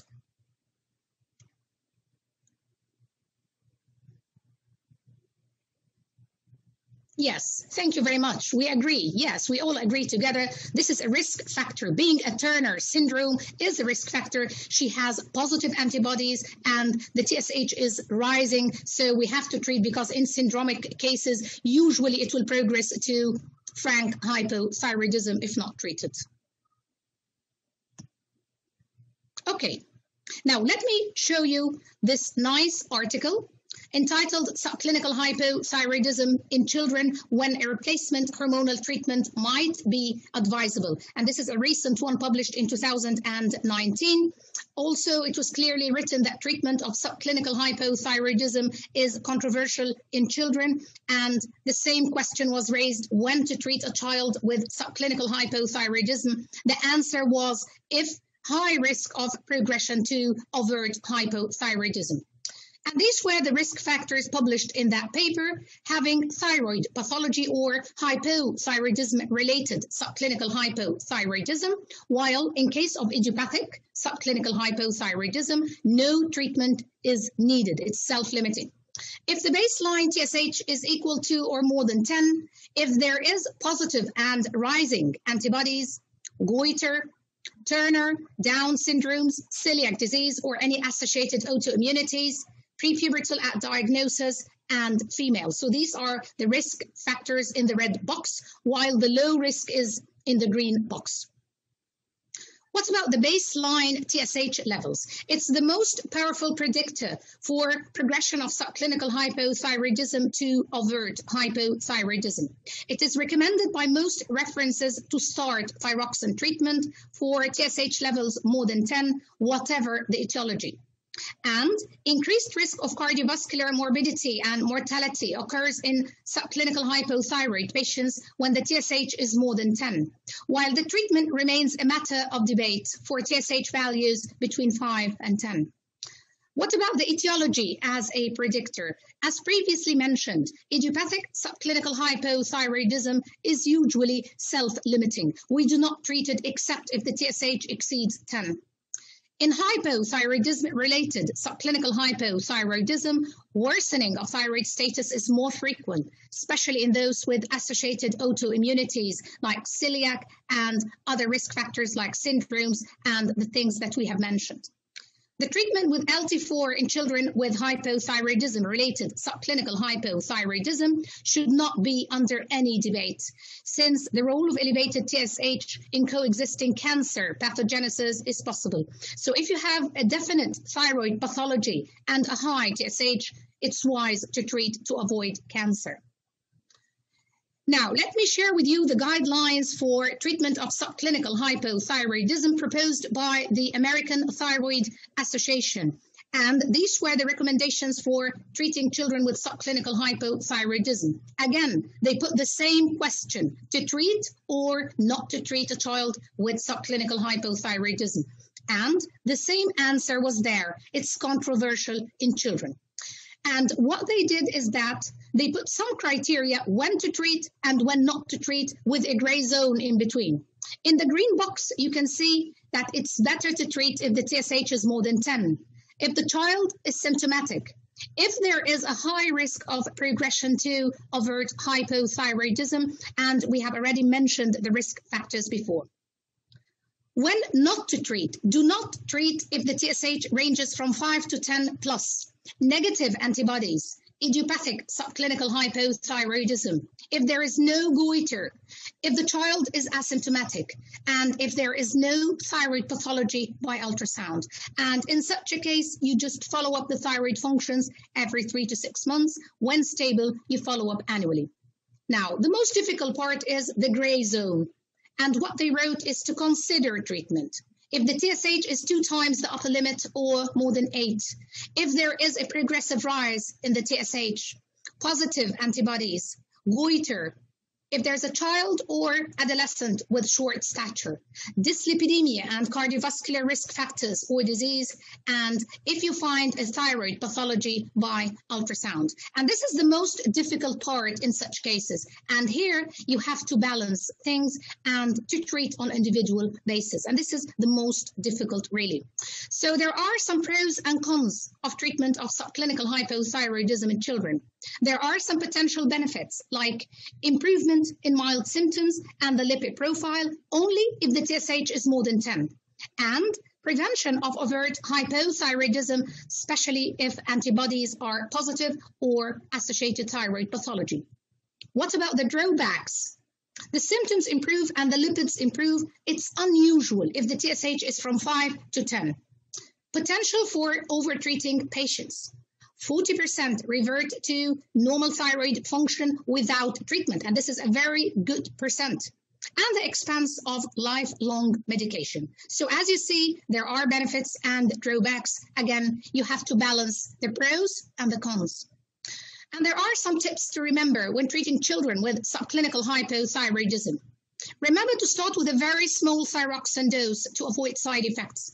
And the recommended dose is 25 to 50 micrograms a day. And I would go more with the 25. Adjust the dose in 12 and a half up to 25, increase or decrease according to the situation.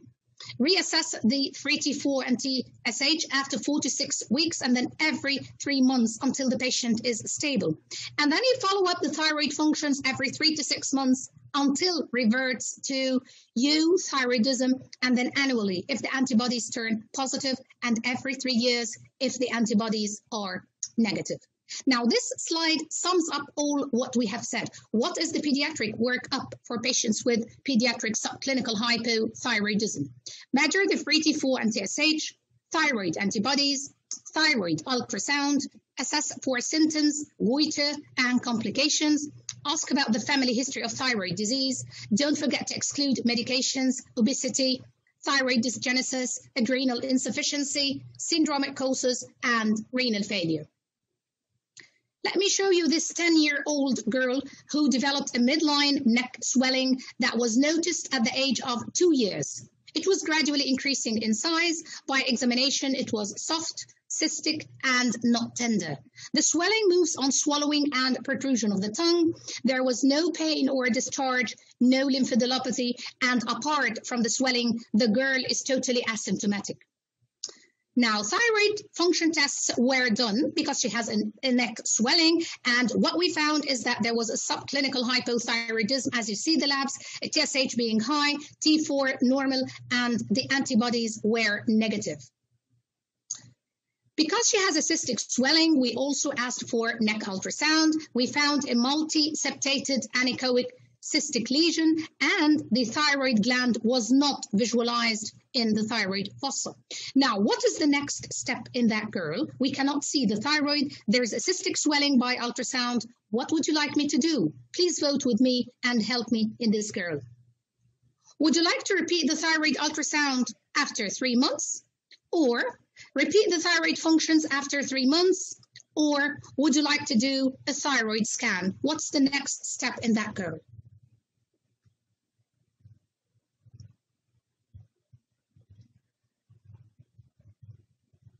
Thank you very much. Yes, nearly 90% got the correct answer. Yes, whenever you cannot see the thyroid gland by ultrasound, we must do a thyroid scan to see whether it's ectopic or in any uh, abnormal uh, place. Okay, and these were the results of the thyroid scan in that girl. There was ectopic thyroid tissue anterior to the hyoid and Inside the thyroglossal cyst, there was absent uptake in the normal thyroid bed. So the ectopia was in the hyoid and inside the thyroglossal cyst. And this was confirmed by CT. And remember that there is a risk of carcinoma when there is ectopic thyroid inside the thyroglossal cyst. Only 1%, but it's there. So the diagnosis here is ectopic thyroid gland in thyroglossal cyst and infrahyoid. What is your suggested management of that girl? Please help me again. What would you like to do? Would you like to do surgical excision of the thyroglossal cyst and start L-thyroxine treatment? Or follow up the thyroid functions and ultrasound again after three months or there is no need for surgery, let's go and start L-thyroxine treatment. Please vote.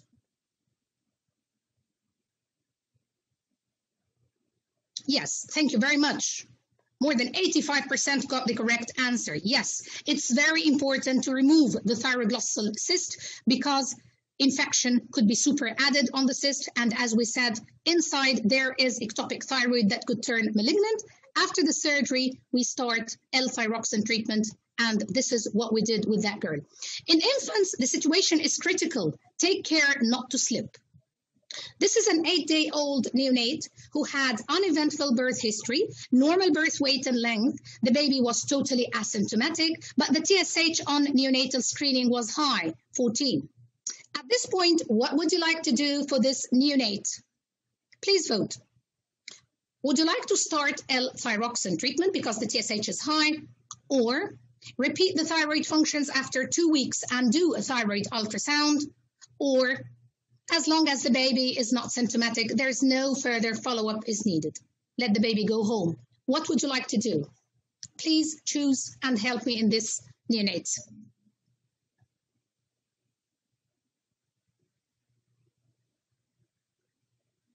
Yes, thank you very much. Again, most of you got the correct answer. Yes, we have to follow up the thyroid functions and do a thyroid ultrasound. Of course, we cannot let him go home. And I think we need to wait on the L-thyroxine treatment. There is no rush. Now, this is the European Society for Pediatric Endocrinology consensus guidelines on screening, diagnosis, and management of congenital hypothyroidism. And here, if you have a baby or a neonate with hyperthyrotropinemia at the neonatal screening, if the TSH is more than 40, you must start treatment and do thyroid imaging. If less than 40, do venous thyroid blood sampling. If the free T4 is below the normal range or the TSH is above 20, even with the normal T4, again, you have to start treatment and do imaging. Remember that thyroid scan is mandatory if you cannot see the thyroid gland by ultrasound to exclude ectopia. And then we have the gray zone, like the neonate that I showed you. If the TSH is from 6 to 20, retest the thyroid functions after two weeks and do thyroid imaging by ultrasound and or the scan. So these are the guidelines by European Society for Pediatric Endocrine. Now, let me show you what happened in that baby two weeks later. The baby is still asymptomatic, but the TSH jumped to 22. And the thyroid ultrasound revealed right thyroid lobe hemiagenesis. What would you like to do for this baby at this point? Please vote. Would you like to start L-thyroxine treatment or follow up the thyroid functions after another two weeks and repeat the thyroid ultrasound or no further follow-up is needed? Please vote.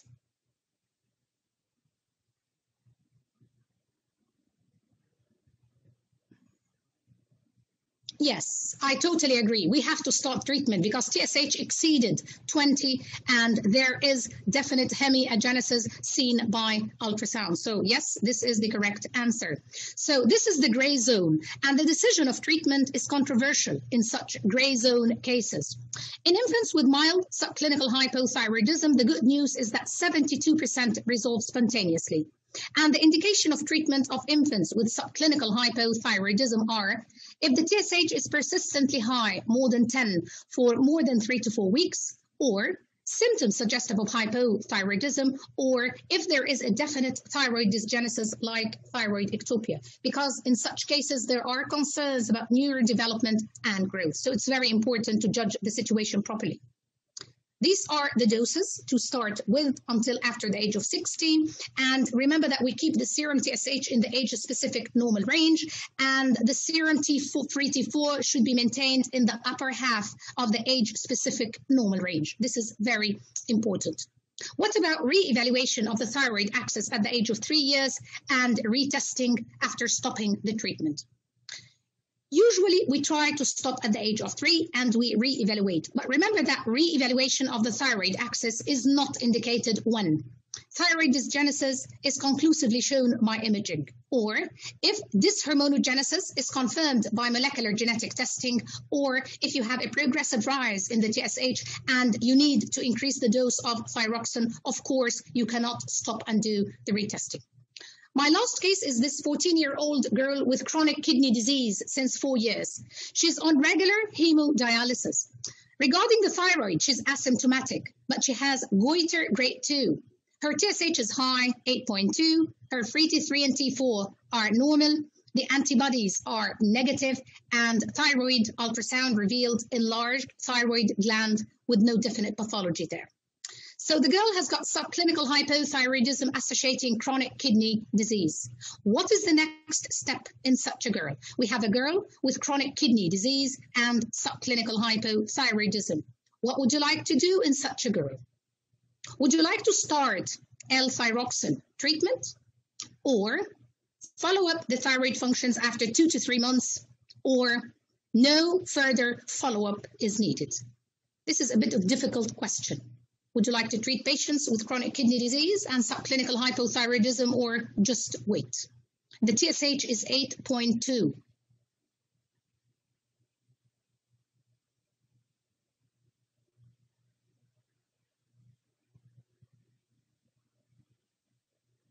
Okay, 60% would like to start L-thyroxine and nearly 40% would like to wait and follow up the thyroid function, and only one said no further follow up is needed. Indeed, we need to follow up the case because she has got a problem and the TSH is high, so we must follow up the case.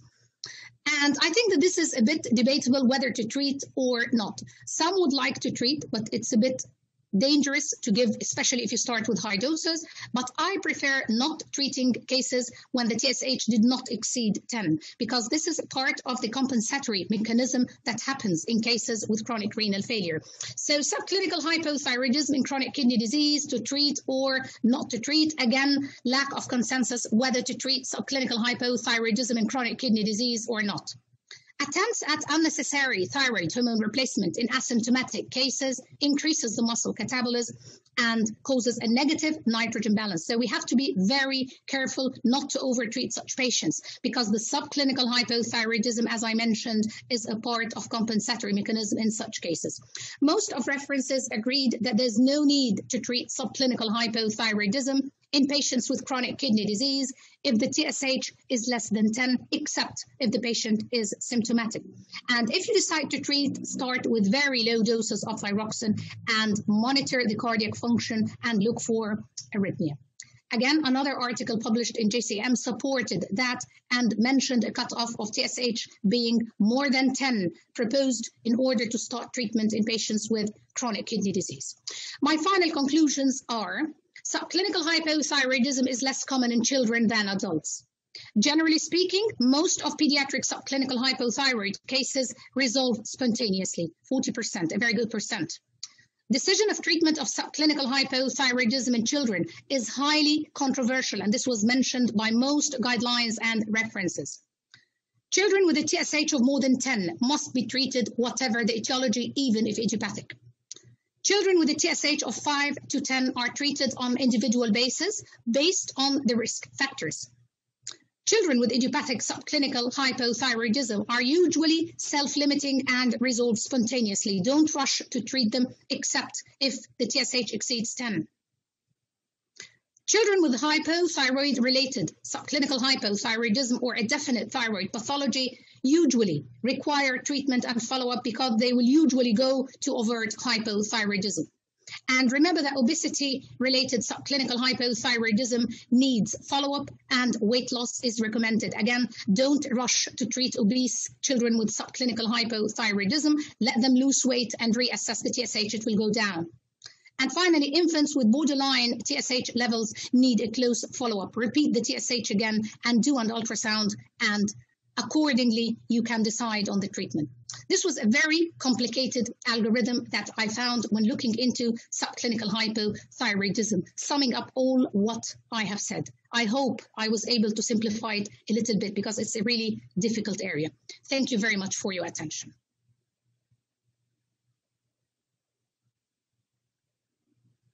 Thank you very much, Rasha. You certainly simplified and uh, uh, Thank you very much for this elegant talk, which combined the art and science.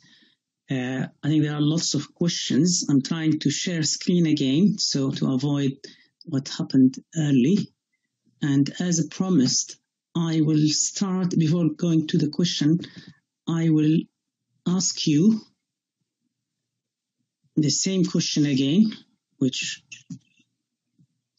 Abdelhadi, can you put the slideshow, please? Yeah, yeah, yeah, yeah. And that's what I'm trying to do. It's so. Yes, it's done now. Yes. Yeah. Good. I mean, before this, this is what I already said about Rasha. I think there, there are lots of things written here, so I can send you the slide if you want. But sorry for not being able to share the screen. Now, this is the question I asked you before Rasha's talk. And I wrote here the percentage of uh, people's answer. So do you think children with subclinical hypothyroidism should be treated with thyroxine or not? Or you still don't know? So please vote now and then we will move to the question and answer question just to see whether there is any difference really between the initial uh, answers and the post lecture answer.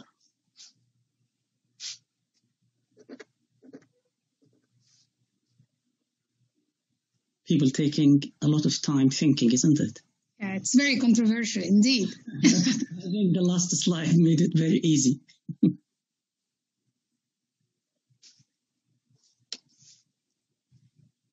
you have a look at the results? Yeah, well. Okay, yes. Yeah, so the no's are more than the yeses. Yeah, and there was also a swing on people who uh, selected I don't know. There were 10% or less than 10% initially. Now I think you confused them more, Rasha. so we got nearly 20% were saying we don't know.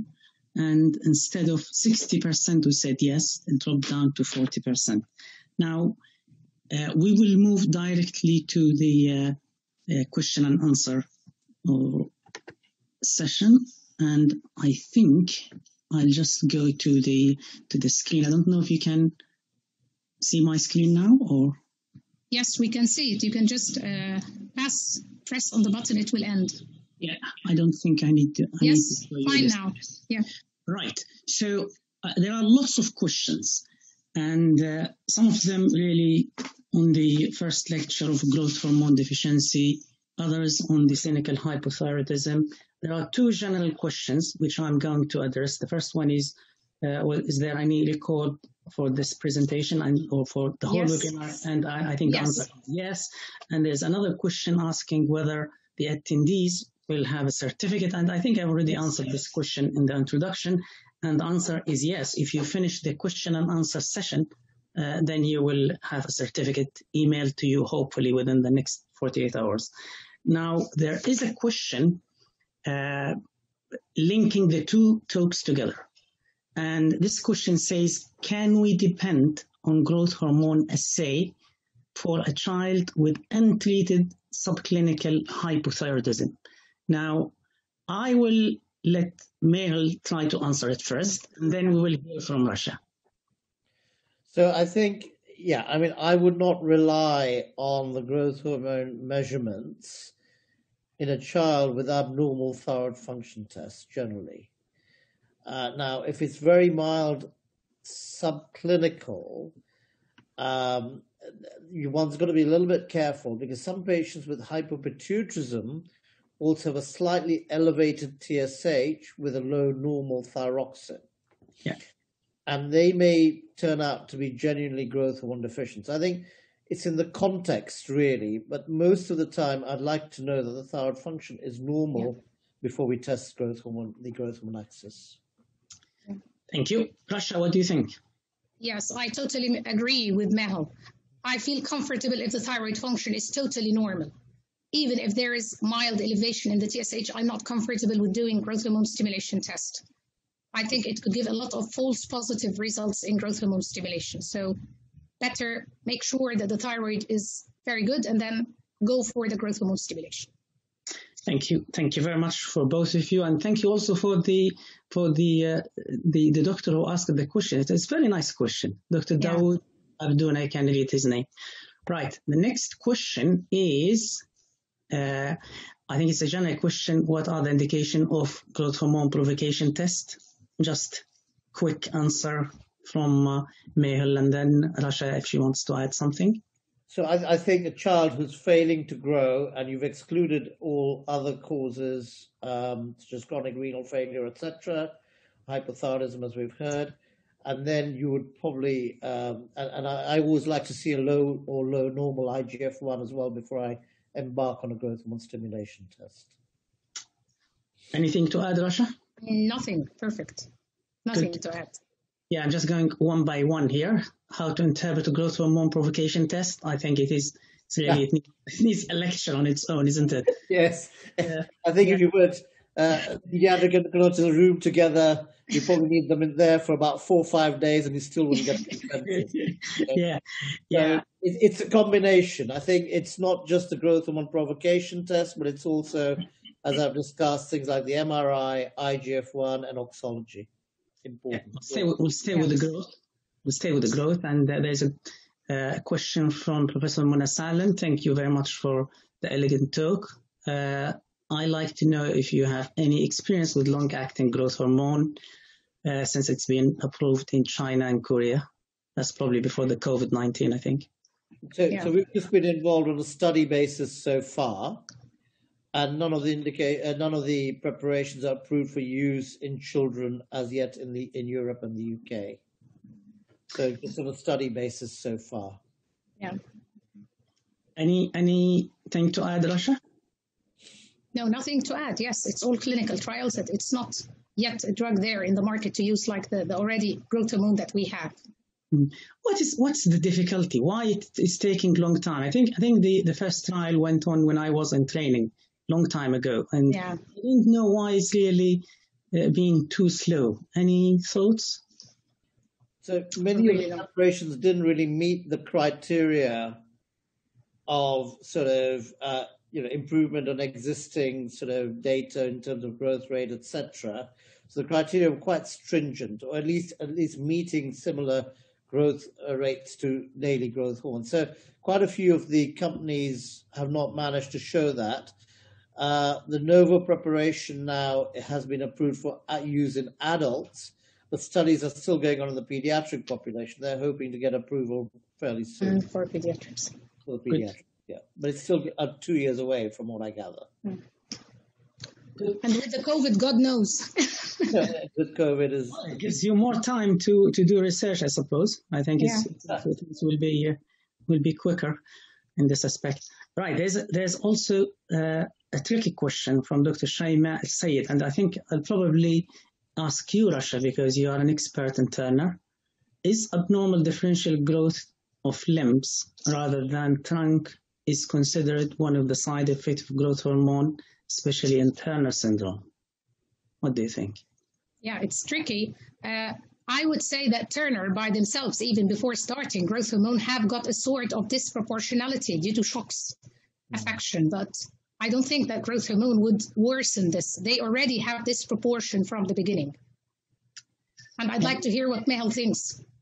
Completely agree. I mean, I think it's a, it's it, it, in the simplest terms, it's a skeletal dysplasia. Yeah.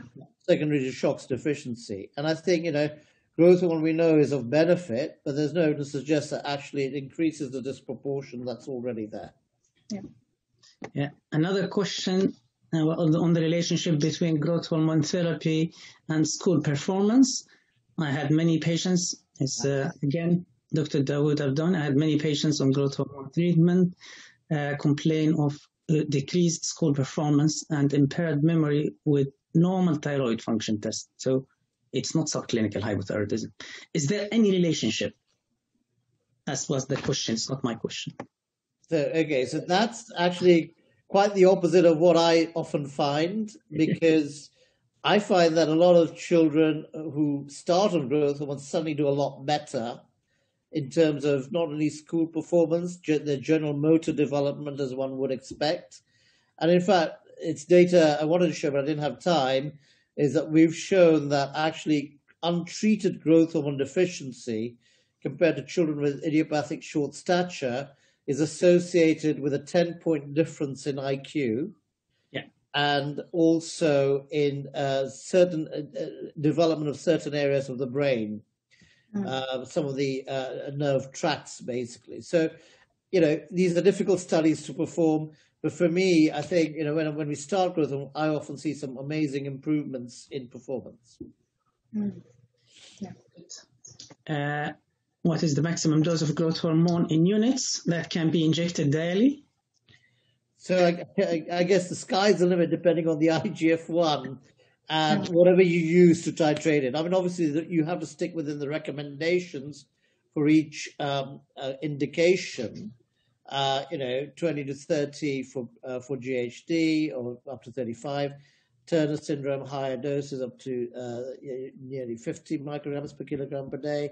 So I think you would stick within the indications, but also IGF-1 and the growth rate, but also remember adherence as well. So it's easy to keep going up on the dose thinking, you know, they're not responding, but actually they may not be taking it. Yeah, yeah, I think so. Rasha, any experience with a very high growth hormone dose? Uh, you mean in the neonates? No, it is just any age. As Mehul said, yes, you can go up as long as the IGF-1 is fine. The IGF-1 SDS is going fine and according to the indication as well. The Turner is different from a growth hormone deficient, for example. Yeah, I mean, all, all the thyroid questions came at the end. So let me finish the the. Uh, Finish the, the, growth hormone first. The growth hormone first, and then uh, you you will both going to answer the thyroid as well, uh, because I think it's an area of overlap. I don't think there you can really separate them uh, very vividly. So uh, there are two questions about the risk of growth hormone. One on neurofibromatosis, and the other one on renal transplant patient. Neurofibromatosis uh, we got a world expert on neurofibromatosis. Uh, sorry, craniopharyngioma, that's one. But neurofibromatosis is also one of your areas, Mehul. Go so on. I think, I think in neurofibromatosis, if you've shown that the child is growth hormone deficient, and you screen them for uh, things like optic gliomas, etc., then I think you can start growth hormone, but I always start at a low dose, monitor the IGF-1, try and keep the IGF-1 around the mean or plus one SDS, but no higher. So if you use it safely uh, in a child that is actually growth hormone deficient, I would be quite happy to do that with careful monitoring. Rasha, any comments? No, I'd like to ask Mehul. and what about the dose, Mehul, in neurofibromatosis? Is it just the growth hormone deficiency dose, yes. and you increase according to the response, the growth velocity. To the growth yeah. velocity in the IGF-1. Yeah, yeah. but I'd start with the GHD dose first. Yeah, yeah. Yeah. The other question is about the risk of growth hormone therapy in patients with renal trans risk of rejection in renal transplant patient. I thought if you go to renal transplant, you, you don't need growth hormone therapy, isn't it? Yeah, I mean, it's not approved. I, yeah, yes, exactly. Sorry. Yeah, that's right yeah, you stop it. I mean, you, you can use it in CKD, but once you mm. get the transplant, you don't need it anymore. Yeah, right. right. Uh, is hypoglycemia in GHD can occur in older children? So it's very unusual. I've hardly ever seen isolated GHD uh, pre- presenting with hypoglycemia in older children. There's usually short stature, but in the first three years of life, it's quite common. Good. Any comments, Rasha? No, thank you. Uh, which age is appropriate for starting the treatment with the growth hormone in suspicions of growth hormone or GFD? I don't know what's the meaning of GFD, to be honest. Growth hormone insufficiency, maybe growth hormone deficiency? Uh, maybe, what, maybe growth hormone deficiency, yes. Yeah. What examination would you perform by general pediatrician before referring to specialist endocrinology? Yeah, that's that's easy. So what would you do, Rasha, for example, before you refer, or what would you advise the general pediatrician? We got we got nearly thirty percent of our audience are as general pediatricians. Yeah, yeah, very so, respectable number. Yeah. Yes. So so what would you advise them? GP? The basic, the basic, doing the basic thing, measuring the height accurately, plotting the height on the growth chart, calculating the midparental height, and seeing if the child lies within the midparental height range or not looking at the puberty if the child is more than 10 years, and then going for the tests. And please start by the baseline investigations. Don't jump to endocrine testing and do a growth hormone stimulation test from the beginning. And of course, if a short girl, karyotype. And don't forget to exclude celiac disease as well, because there is silent celiac, which presents with short stature with no clear GIT symptoms. This is the summary. Mehul, would you like to add anything? No, I completely agree. I think sometimes I, I, would add probably a bone age as well as I find quite useful. Yeah. And if they yeah. can get access to an IGF one, that's always handy. Yeah. In cases of short stature with obesity ah. or assessment of a growth hormone, do we do growth hormone provocation test or just IGF one? No, I think I think you do the combination, and I think the important thing is the growth rate as well. Yeah. The growth rate, growth hormone test, and IGF-1. Not easy. But if the IGF-1 is completely normal, then be careful and don't Yeah. start unless you're absolutely sure. Yeah. Yeah, another question is just asking whether we can use ex- exercise ins- uh, instead of pharmacological provocation test. Afraid not, because it just doesn't give very v- reproducible and validated results. Yeah, it's growth hormone possible. Yeah, the other question is, is that this really very commonly asked question is w- whether growth hormone deficiency is possible if you got IGF-1 or if you got a normal IGF-1. So yes, I mean I think you you know it's unusual, but yes, it could be, especially in children who've had tumors and treatment for it. Um, you know, the IGF-1 may be low normal or within the normal range. Uh, so I think it is possible, but it's unusual. Uh, there's other question to Dr. to Rasha. Uh, I think the the the the question is I they were asking about the neonate waiting. They said they don't agree with Dr. Rasha's for neonate to wait for two weeks before starting treatment. I don't think that's what you said, but uh, I don't know if you if you want to make any comment on that. Uh, it's not my It's not mine. This is the ESPE guidelines. Uh, if the TSH exceeds 20, you treat. Less than 20, there's more than 70% incidence or chance of resolving unless there is a definite pathology in the thyroid. So in the neonate that I presented, the TSH was 14. The baby is asymptomatic. So there's no harm of repeating after two weeks. If you want to make sure at this point you do an ultrasound from the beginning, if there is no thyroid pathology and the TSH did not exceed 20, we wait because it could resolve. If it exceeds 20 or T4 is low, we treat. Yeah, I think I think that probably the uh, the the the, uh, the person who asked the question didn't follow the number. Yeah, yeah. And, and let me tell you that there is a general concept, people being terrified, the general pediatrician, terrified of hypothyroidism, the mental retardation, the growth failure. They treat at very low TSH level. They treat at 10 in neonate, at 12. Yes, this happens really because people and the parents are terrified and the doctors are terrified. But actually, nothing will happen in two weeks except that the TSH exceeds 20. Lots of appraisal and thanks to the speakers. Uh, amazing presentation, Dr. Rasha, as usual. My question is it mandatory to treat subclinical hypothyroidism in every child with Down syndrome, even if the TSH is less than 10? Okay, it's tricky. Uh, again, you have to put to fit the pieces together. For example, if you have a TSH of 5.5 or 6, the antibodies are not high, the child is growing well, I would not treat. But if the TSH is rising, the antibodies started to be positive, some symptoms, you treat. So it's a matter of balance. It could be a gray zone. It's not a yes and a no. The only big yes is if the TSH exceeds 10. Yeah, but he's asking, the question is asking specifically about Down syndrome. what's written is that it's better to treat this way better to treat it's not a direct yes you must treat it's better to treat in syndromic and chromosomal cases What especially think- if the antibody is positive What do you think, Mehul, as a, as a clinician? So sorry, I missed that last point. That It's uh, Down syndrome with a Yes, TSH, yeah. with a high TSH, but less than 10. no, I mean I think I have a low threshold for starting in, in Down syndrome. You will wait huh sorry. and what and what if you have positive antibodies a down with tsh8 for example and positive No, antibodies I would start. I would start okay definitely. I think Mehul's saying he has a low threshold to start. Yes, I would start quite e- much more easily in Down syndrome. yeah Yeah, there there is a long uh, case here, long question. I tried to read it, but I think I'll probably go through the shorter questions and then I'll come back to this if we got time. Uh, convulsion after starting thyroxine treatment in few infants? Is this something you experience? i haven't seen it for me i haven't seen it No, Mehul? no, I've not seen that. I mean, sometimes anticonvulsants can lead to abnormal thyroid function, yeah yeah and then if you start treatment, then no, the fits would be unrelated. So I don't know. Yeah.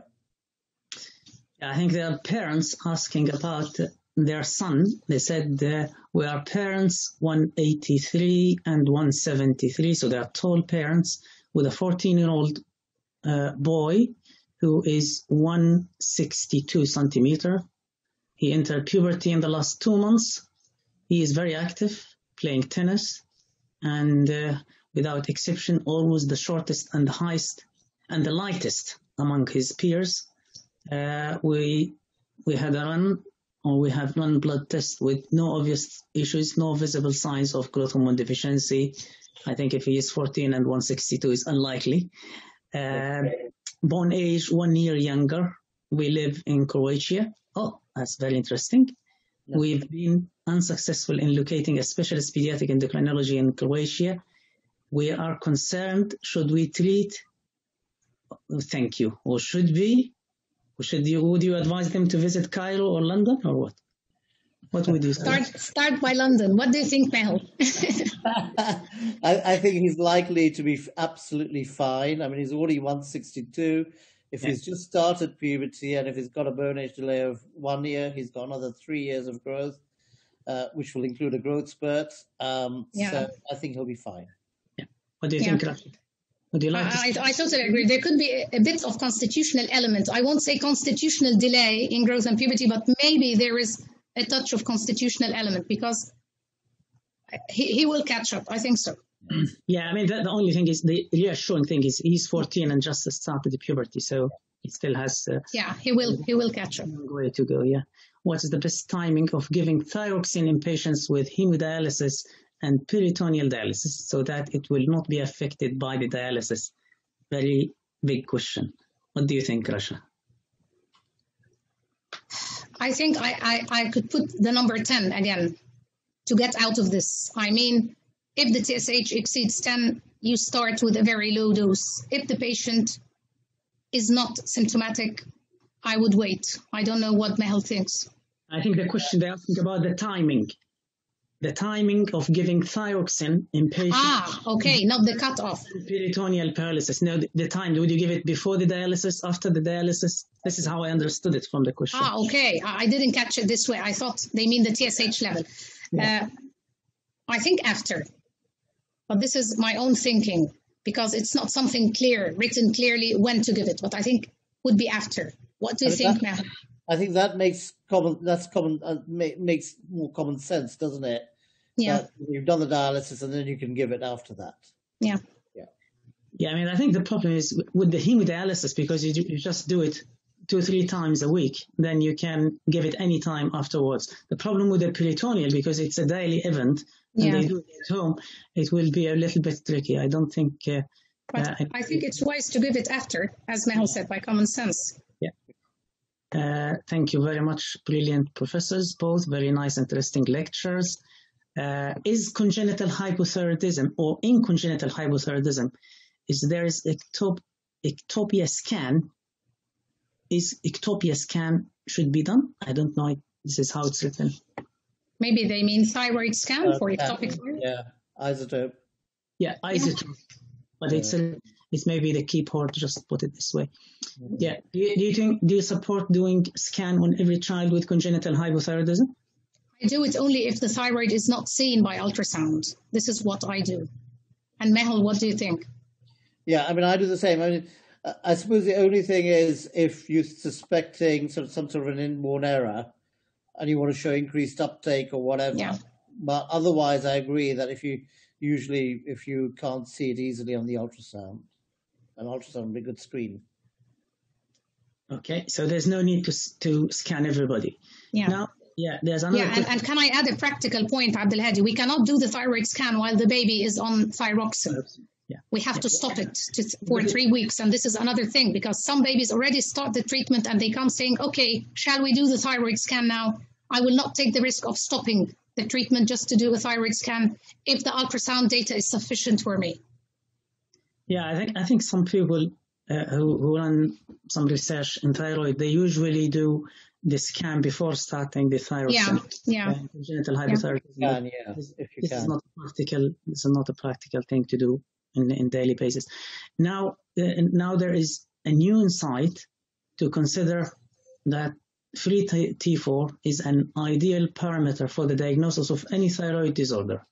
Do you agree with that? Alone or in combination with TSH?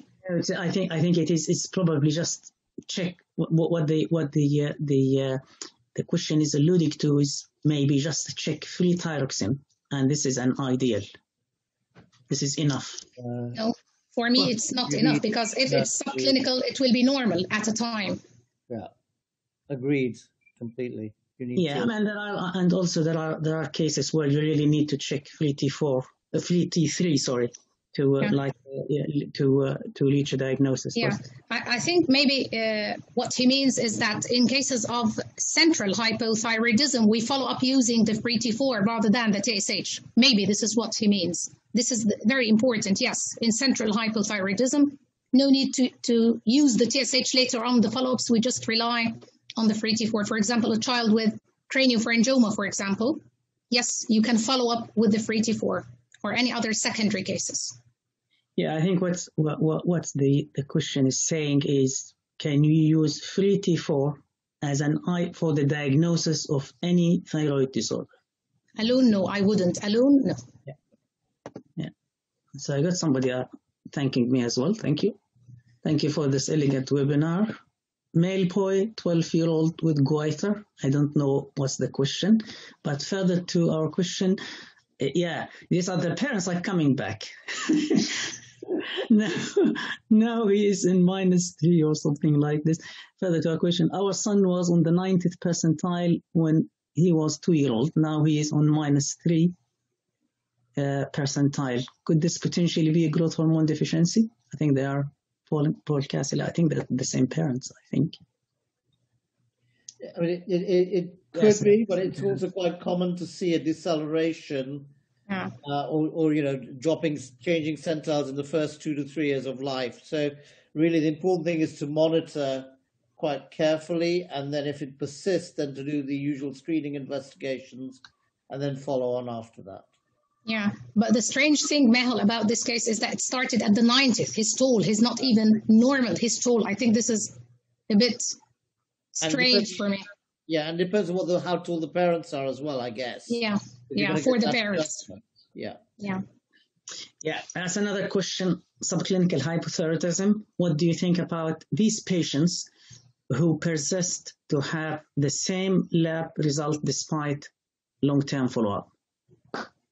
Which lab the result? You mean less than 10 or or more than 10?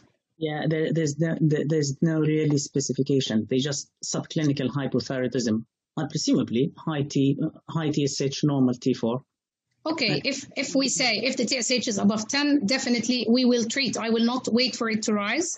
If the TSH is from 5 to 10, we will look for the risk factors. If there aren't any risk factors and the TSH is the same and not rising, I would wait. But again, it's on individual basis. There's another uh, another question about subclinical hypothyroidism in preterm low birth weight babies. I think needs a lecture on its own. Yeah. yeah. They, they could, they, this is just a comment rather than a question, I would say. Yeah. Yeah. Uh, another question about back to growth hormone deficiency. Is MRI mandatory for all patients with growth hormone deficiency, even if other pituitary hormone are normal?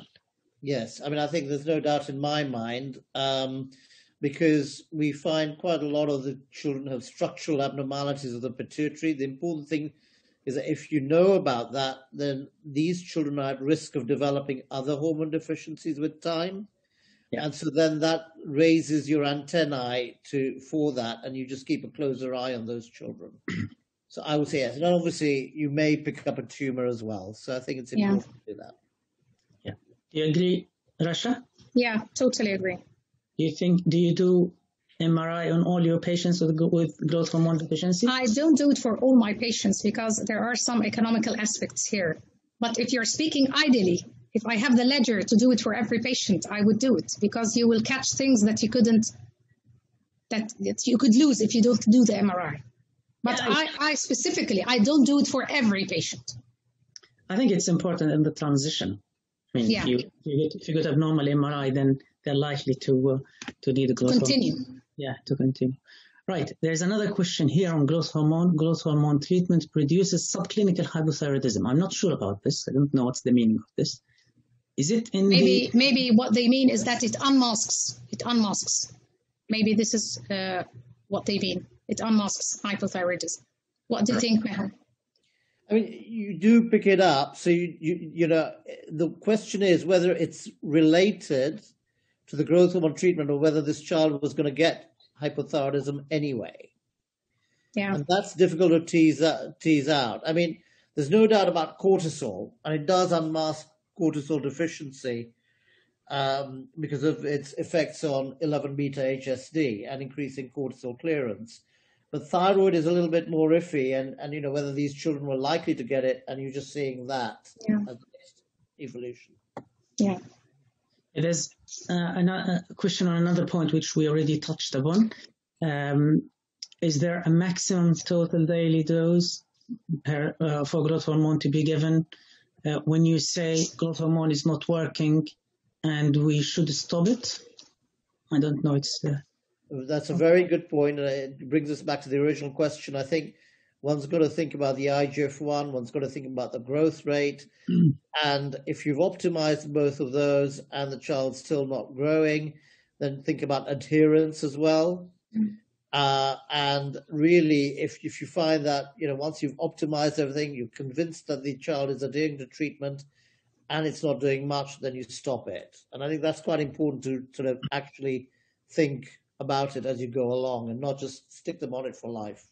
Yeah. Yeah. yeah, there is. Yeah, what do you think, Rasha? Anything you want to Uh, add? uh, I just I need to ask Mel a comment. And do you sometimes stop the growth hormone for a while, three months, for example, and restart again, and you find a better response, or when you decide to stop it, then it's that's it? What do you do? Or according to different, sometimes the Turner, for example, do not grow. You keep Yeah. increasing and increasing, and the waning effect, you cannot just tolerate the waning effect. What would you like to do in such cases? So sometimes I think it's it's you know once they get into puberty and if, if they're not growing and you go into puberty and you then start growth hormone, they will respond better at that time. Okay, but generally, I mean, I think when we stop, we usually completely stop at that point and then monitor the growth and the IGF-1 off it. Now, if the IGF-1 drops again, then that's a different matter. But there's a lot in uh, in Europe now. There's a lot of interest in actually stopping, as I said, in early puberty and looking to see if they are reversing at that point. Yeah, So- yeah. Transition. Yeah. Yeah, we'll stay with the response. There's a question of, of whether changing between growth hormone formulation may affect response.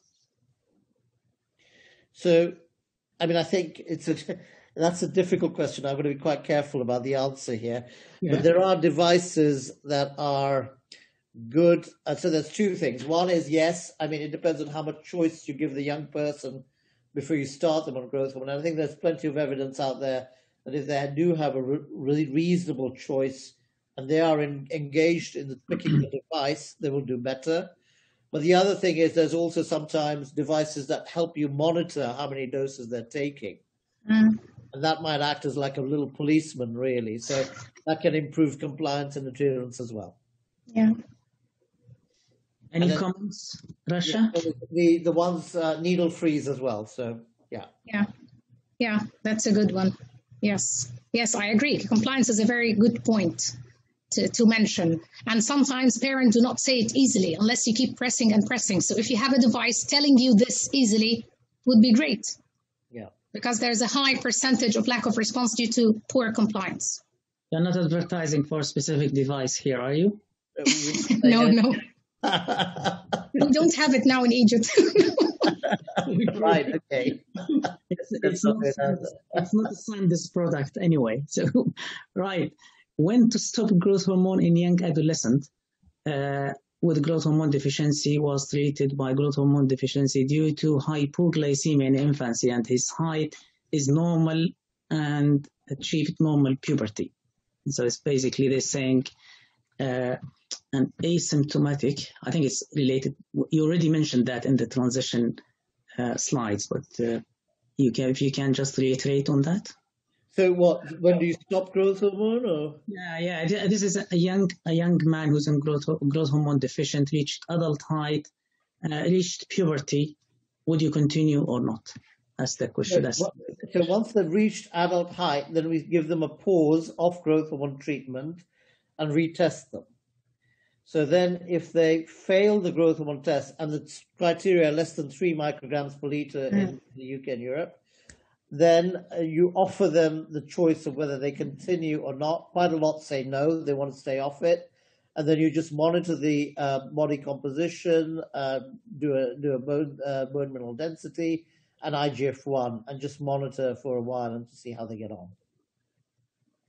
Okay, good. Anything, Rasha, while I'm trying to select uh, other questions, any comments on that? Yeah, I can see 120 questions. Abdelhadi, you're doing very Yeah. difficult job. Right. I was about to ask you how, how long you are prepared to stay because there are lots of things. 120 questions, Abdelhadi, you are a fighter. Oh, there, oh, there. It is. But some, some of them are comments and some of them are answers to the multiple choice questions. So, Yes. uh, but it was mostly transitional to we stop it. We can start thyroxine and Down syndrome with the growth hormone deficiency and how with congenital hypo. See, Uh, let me, until you search, let me ask Mehul a question. Mehul, do you give growth hormone to Down syndrome patients? When do you decide? Do you give it or not? And when are you obliged to give it in a Down syndrome case? Okay, so normally the same criteria apply. We don't normally give growth hormone unless they're, you, they've got proven growth hormone deficiency. Okay. Yeah. Now, obviously, there's some children where they are extremely short, but we're really bound in the UK by our NICE guidelines, which only allow you to prescribe growth hormone for a certain range of conditions. So you would have to do what we call an independent funding request, which really is a very stringent process. Mm. And they would want evidence to show that there is a possibility of it working. And in Yeah. Down syndrome, that's the problem, that there are no long-term data. Yeah.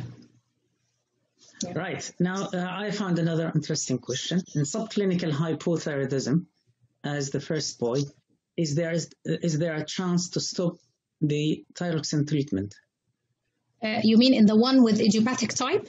Yes. Yes, of course there is a chance because we assume that he is he doesn't have any risk factors anyway. He only what happened in that boy is that the TSH jumped above 10 and that's why we decided to treat. But he doesn't have positive antibodies or any thyroid pathology.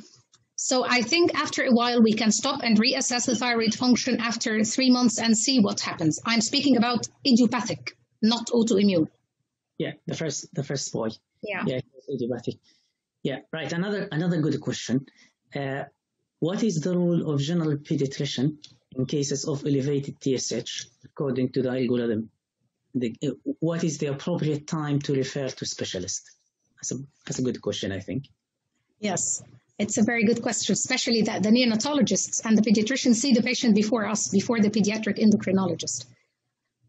I think, first of all, if the pediatrician couldn't make the correct decision, he should refer because hypothyroidism could be dangerous on the mentality and on the growth. But if the TSH is not rising, the baby is asymptomatic and it did not exceed 20, and the ultrasound is normal with no dysgenesis or any frank pathology in the thyroid, he could just repeat the thyroid functions after two weeks. If normalized, he can continue follow up. If the TSH goes up, I think it's better to refer to a pediatric endocrinologist. Or if there is a definite thyroid pathology like dysgenesis from the beginning. So again, a TSH of more than 20, a rising TSH, a thyroid pathology by ultrasound, dysgenesis, for example. Thank you. There's a question for Mehul. What is the younger age to start growth hormone in cases of hypopituitarism or panhypopituitarism? Well, as soon as soon as you make the diagnosis, you can start. Okay, and all the data suggests the earlier you start, the better long-term outcome. So, if you've got, so you're not going to be able to do a growth hormone provocation test in the first year of life. So what you do is, if you've got other hormone deficiencies, structurally abnormal MRI, and the child is not growing, and as I say, usually within four months, in the severe cases, you can show that they're not growing with a low IGF-1 then there's no reason to wait. You can start, Yeah. and I, I start very gently. I start about 10 mics per kilo, and they respond Mm. beautifully. Do you think, Rasha? Yes, Would you start yes. If if we are sure that this is a case and we are lucky to diagnose it at a young age, yes, I think we we should grasp this chance and start early. Yeah. As Mehul said, even with a smaller dose than the usual. Yeah, there's a question from Dr. Samah Tawfiq here. Uh, when you advise giving growth hormone, or sorry, GnRH analog in combination with, with the growth hormone, at what age you give aromatase inhibitors. So there's like two questions. First one is when to when to give GNH, GnRH analog with the growth hormones. Very controversial. Yeah, extremely controversial. And you know, I think there are very few data to suggest that it really uh, is something that you should do very often. I think only in very exceptional cases where there's been a late diagnosis and you haven't got much time and puberty is marching on, then you would stop the puberty and allow them a bit more time. But remember that even you need the pubertal growth spurt, you need the uh, uh, androgens or estrogen to help you achieve a good height anyway. So growth hormone has to act in combination with them. Yeah. So you've got to be quite careful about that. Aromatase inhibitors, um, you only it's very experimental and you, I only use them when the bone age is advanced, really, which you know very few growth hormone deficient children will have. Um, and you know you're absolutely desperate. I mean, it's more used in uh, idiopathic short stature with an advanced bone age, um, uh, but it is experimental. Leo Dunkel advises against it, uh, except if you're part of a study. So I think one's got to be quite careful of that. Yeah. Anything, Rasha? What's your thoughts? Just uh, one practical uh, point after Mehul's comment. Uh, adding GnRH analog, I think it's of no use and it could uh, contradict the spirit if the bone age in girls is more than 12 or 13 in boys. So it's not just giving or adding GnRH analog at any time. The timing is very important. Hmm. We do not need to stop the growth spurt. So a bone age of 12 in girls and uh, 13 in boys do you think it depends on the context? For example, if you go CAH, then yes, sure. People, yeah, some people might might use this strategy. Yeah. Uh, right. There's another question: Is can we use? Well, there are some questions are repeated. I'm glad. Uh, can we use exercise provocation instead of pharmacological provocation? We we answered this before. Is growth hormone is it is growth hormone deficiency possible if you got low IGF one? And I think you both said possible, rare but possible is predicted adult height a reliable value for any person or misleading? I think this is an easy question to answer, isn't it? Yeah, I mean, I think I, mean, I, I don't formally do all the height prediction software or anything like that, but it, with experience and with bone age, I think you know the prediction can be pretty good. So I think it, that is helpful. But you do sometimes there are surprises. So you've always got to be a little bit careful and cautious because puberty is a big sort of variable feature. Yeah. Sometimes yeah. it is a lot faster in some people than others, and they get a less of a growth spurt. Yeah. yeah, there's there's uh, there's another question about the use of growth hormone in achondroplasia. Ah, that's, a very good question for you. Sadly, no, I'm afraid you've, you've done studies and really it doesn't do much. Yeah. Have you ever used Rasha? Yeah, I tried it in some patients. Uh, they have a quite good response in the first year, and then I think it's of no use. It won't affect the height later on. It could be good in patients with hypochondroplasia. Hypo. Yeah, with hypo, some of them do do better. Yeah. Yeah, uh, there's a comment from one of the audience saying it's a long discussion. Thank you very much. I mean, uh, you, you, anybody feels uh, it's it's too long or wants to leave, they can leave easily. I think we, we still have just few questions to finish. And oh, that's good. We'll go reaching the last two questions. Uh, there was correct thyroid function test. This, this is a comment, I think. It depends on risk factor. Uh, it depends on risk factor. So they're just comment. They're saying no. people are answering questions to each, answering their uh, their own questions. They're saying correct thyroid function uh, first, and do priming for children more than 10 years. So I think this has already been said. Can we provide, can you provide us with a copy of SDS centile chart? I don't know who's, who the question is for. Is it for you? SDS? Probably. What what SDS centile chart? You mean the, the growth chart or standard deviation SDS centile chart? I think they're available in Google, isn't yeah, it? Yeah, they are available in a lot of references. Easy. And I think and there are programs for that. They mean the growth, not the IGF. Do yeah. they mean the IGF SDSs or the growth, the height SDS? I think the growth chart. They said the growth SDS. The growth, okay. Yeah, yeah it's last, available. Last question. Last question. Is there any rule of using growth hormone for patients uh, post-operative cardiac bypass surgery? post cardiac surgery. Yes. So I think if again, if the child is growth hormone deficient and you monitor it carefully, I would say that's fine. You can uh, use it, and you know I've also used it in a child with a who's had a previous transplant, and they weren't growing particularly well after that, and uh, they were they had a low IGF one and a borderline growth hormone response, and he's done pretty well on it. So they can respond, um, but I think you've got to pick the right patients. Yeah. Any comments? Last comment, Rasha? No, nothing. Thank you. Okay, so finally, I'd like to thank all the audience. I'd like to thank Rasha and Mehul for taking part in this uh, in this Q&A session and for their elegant talks. And uh, I'd also like to thank Sandoz and uh, Folder for being patient with us. And I think it's been a very enjoyable evening. I learned a lot of things, and uh, I hope the rest of uh, you did the same. And uh, thank you very much, and hope uh, to meet you in the second wave. Any final comments you want to say, Mehul or Rasha? No, yes, yes, Mehul, please, you first.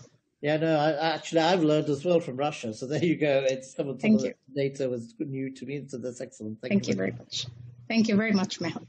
Uh, in fact, it was nice because both of you were here. I'm so glad that you agreed to join us. Thank you very much, Mehul, for the great talk, for answering the questions and bearing with us. And thank you very much, Abdelhadi, for the excellent moderation and for giving us all the questions that you had and for arranging everything in a very uh, nice way. I'd also like to thank the audience for staying with us, to thank uh, Sandoz and uh, Folder Company, and looking forward to meeting you in the second wave. Thank you very much. Thank you. Thank you.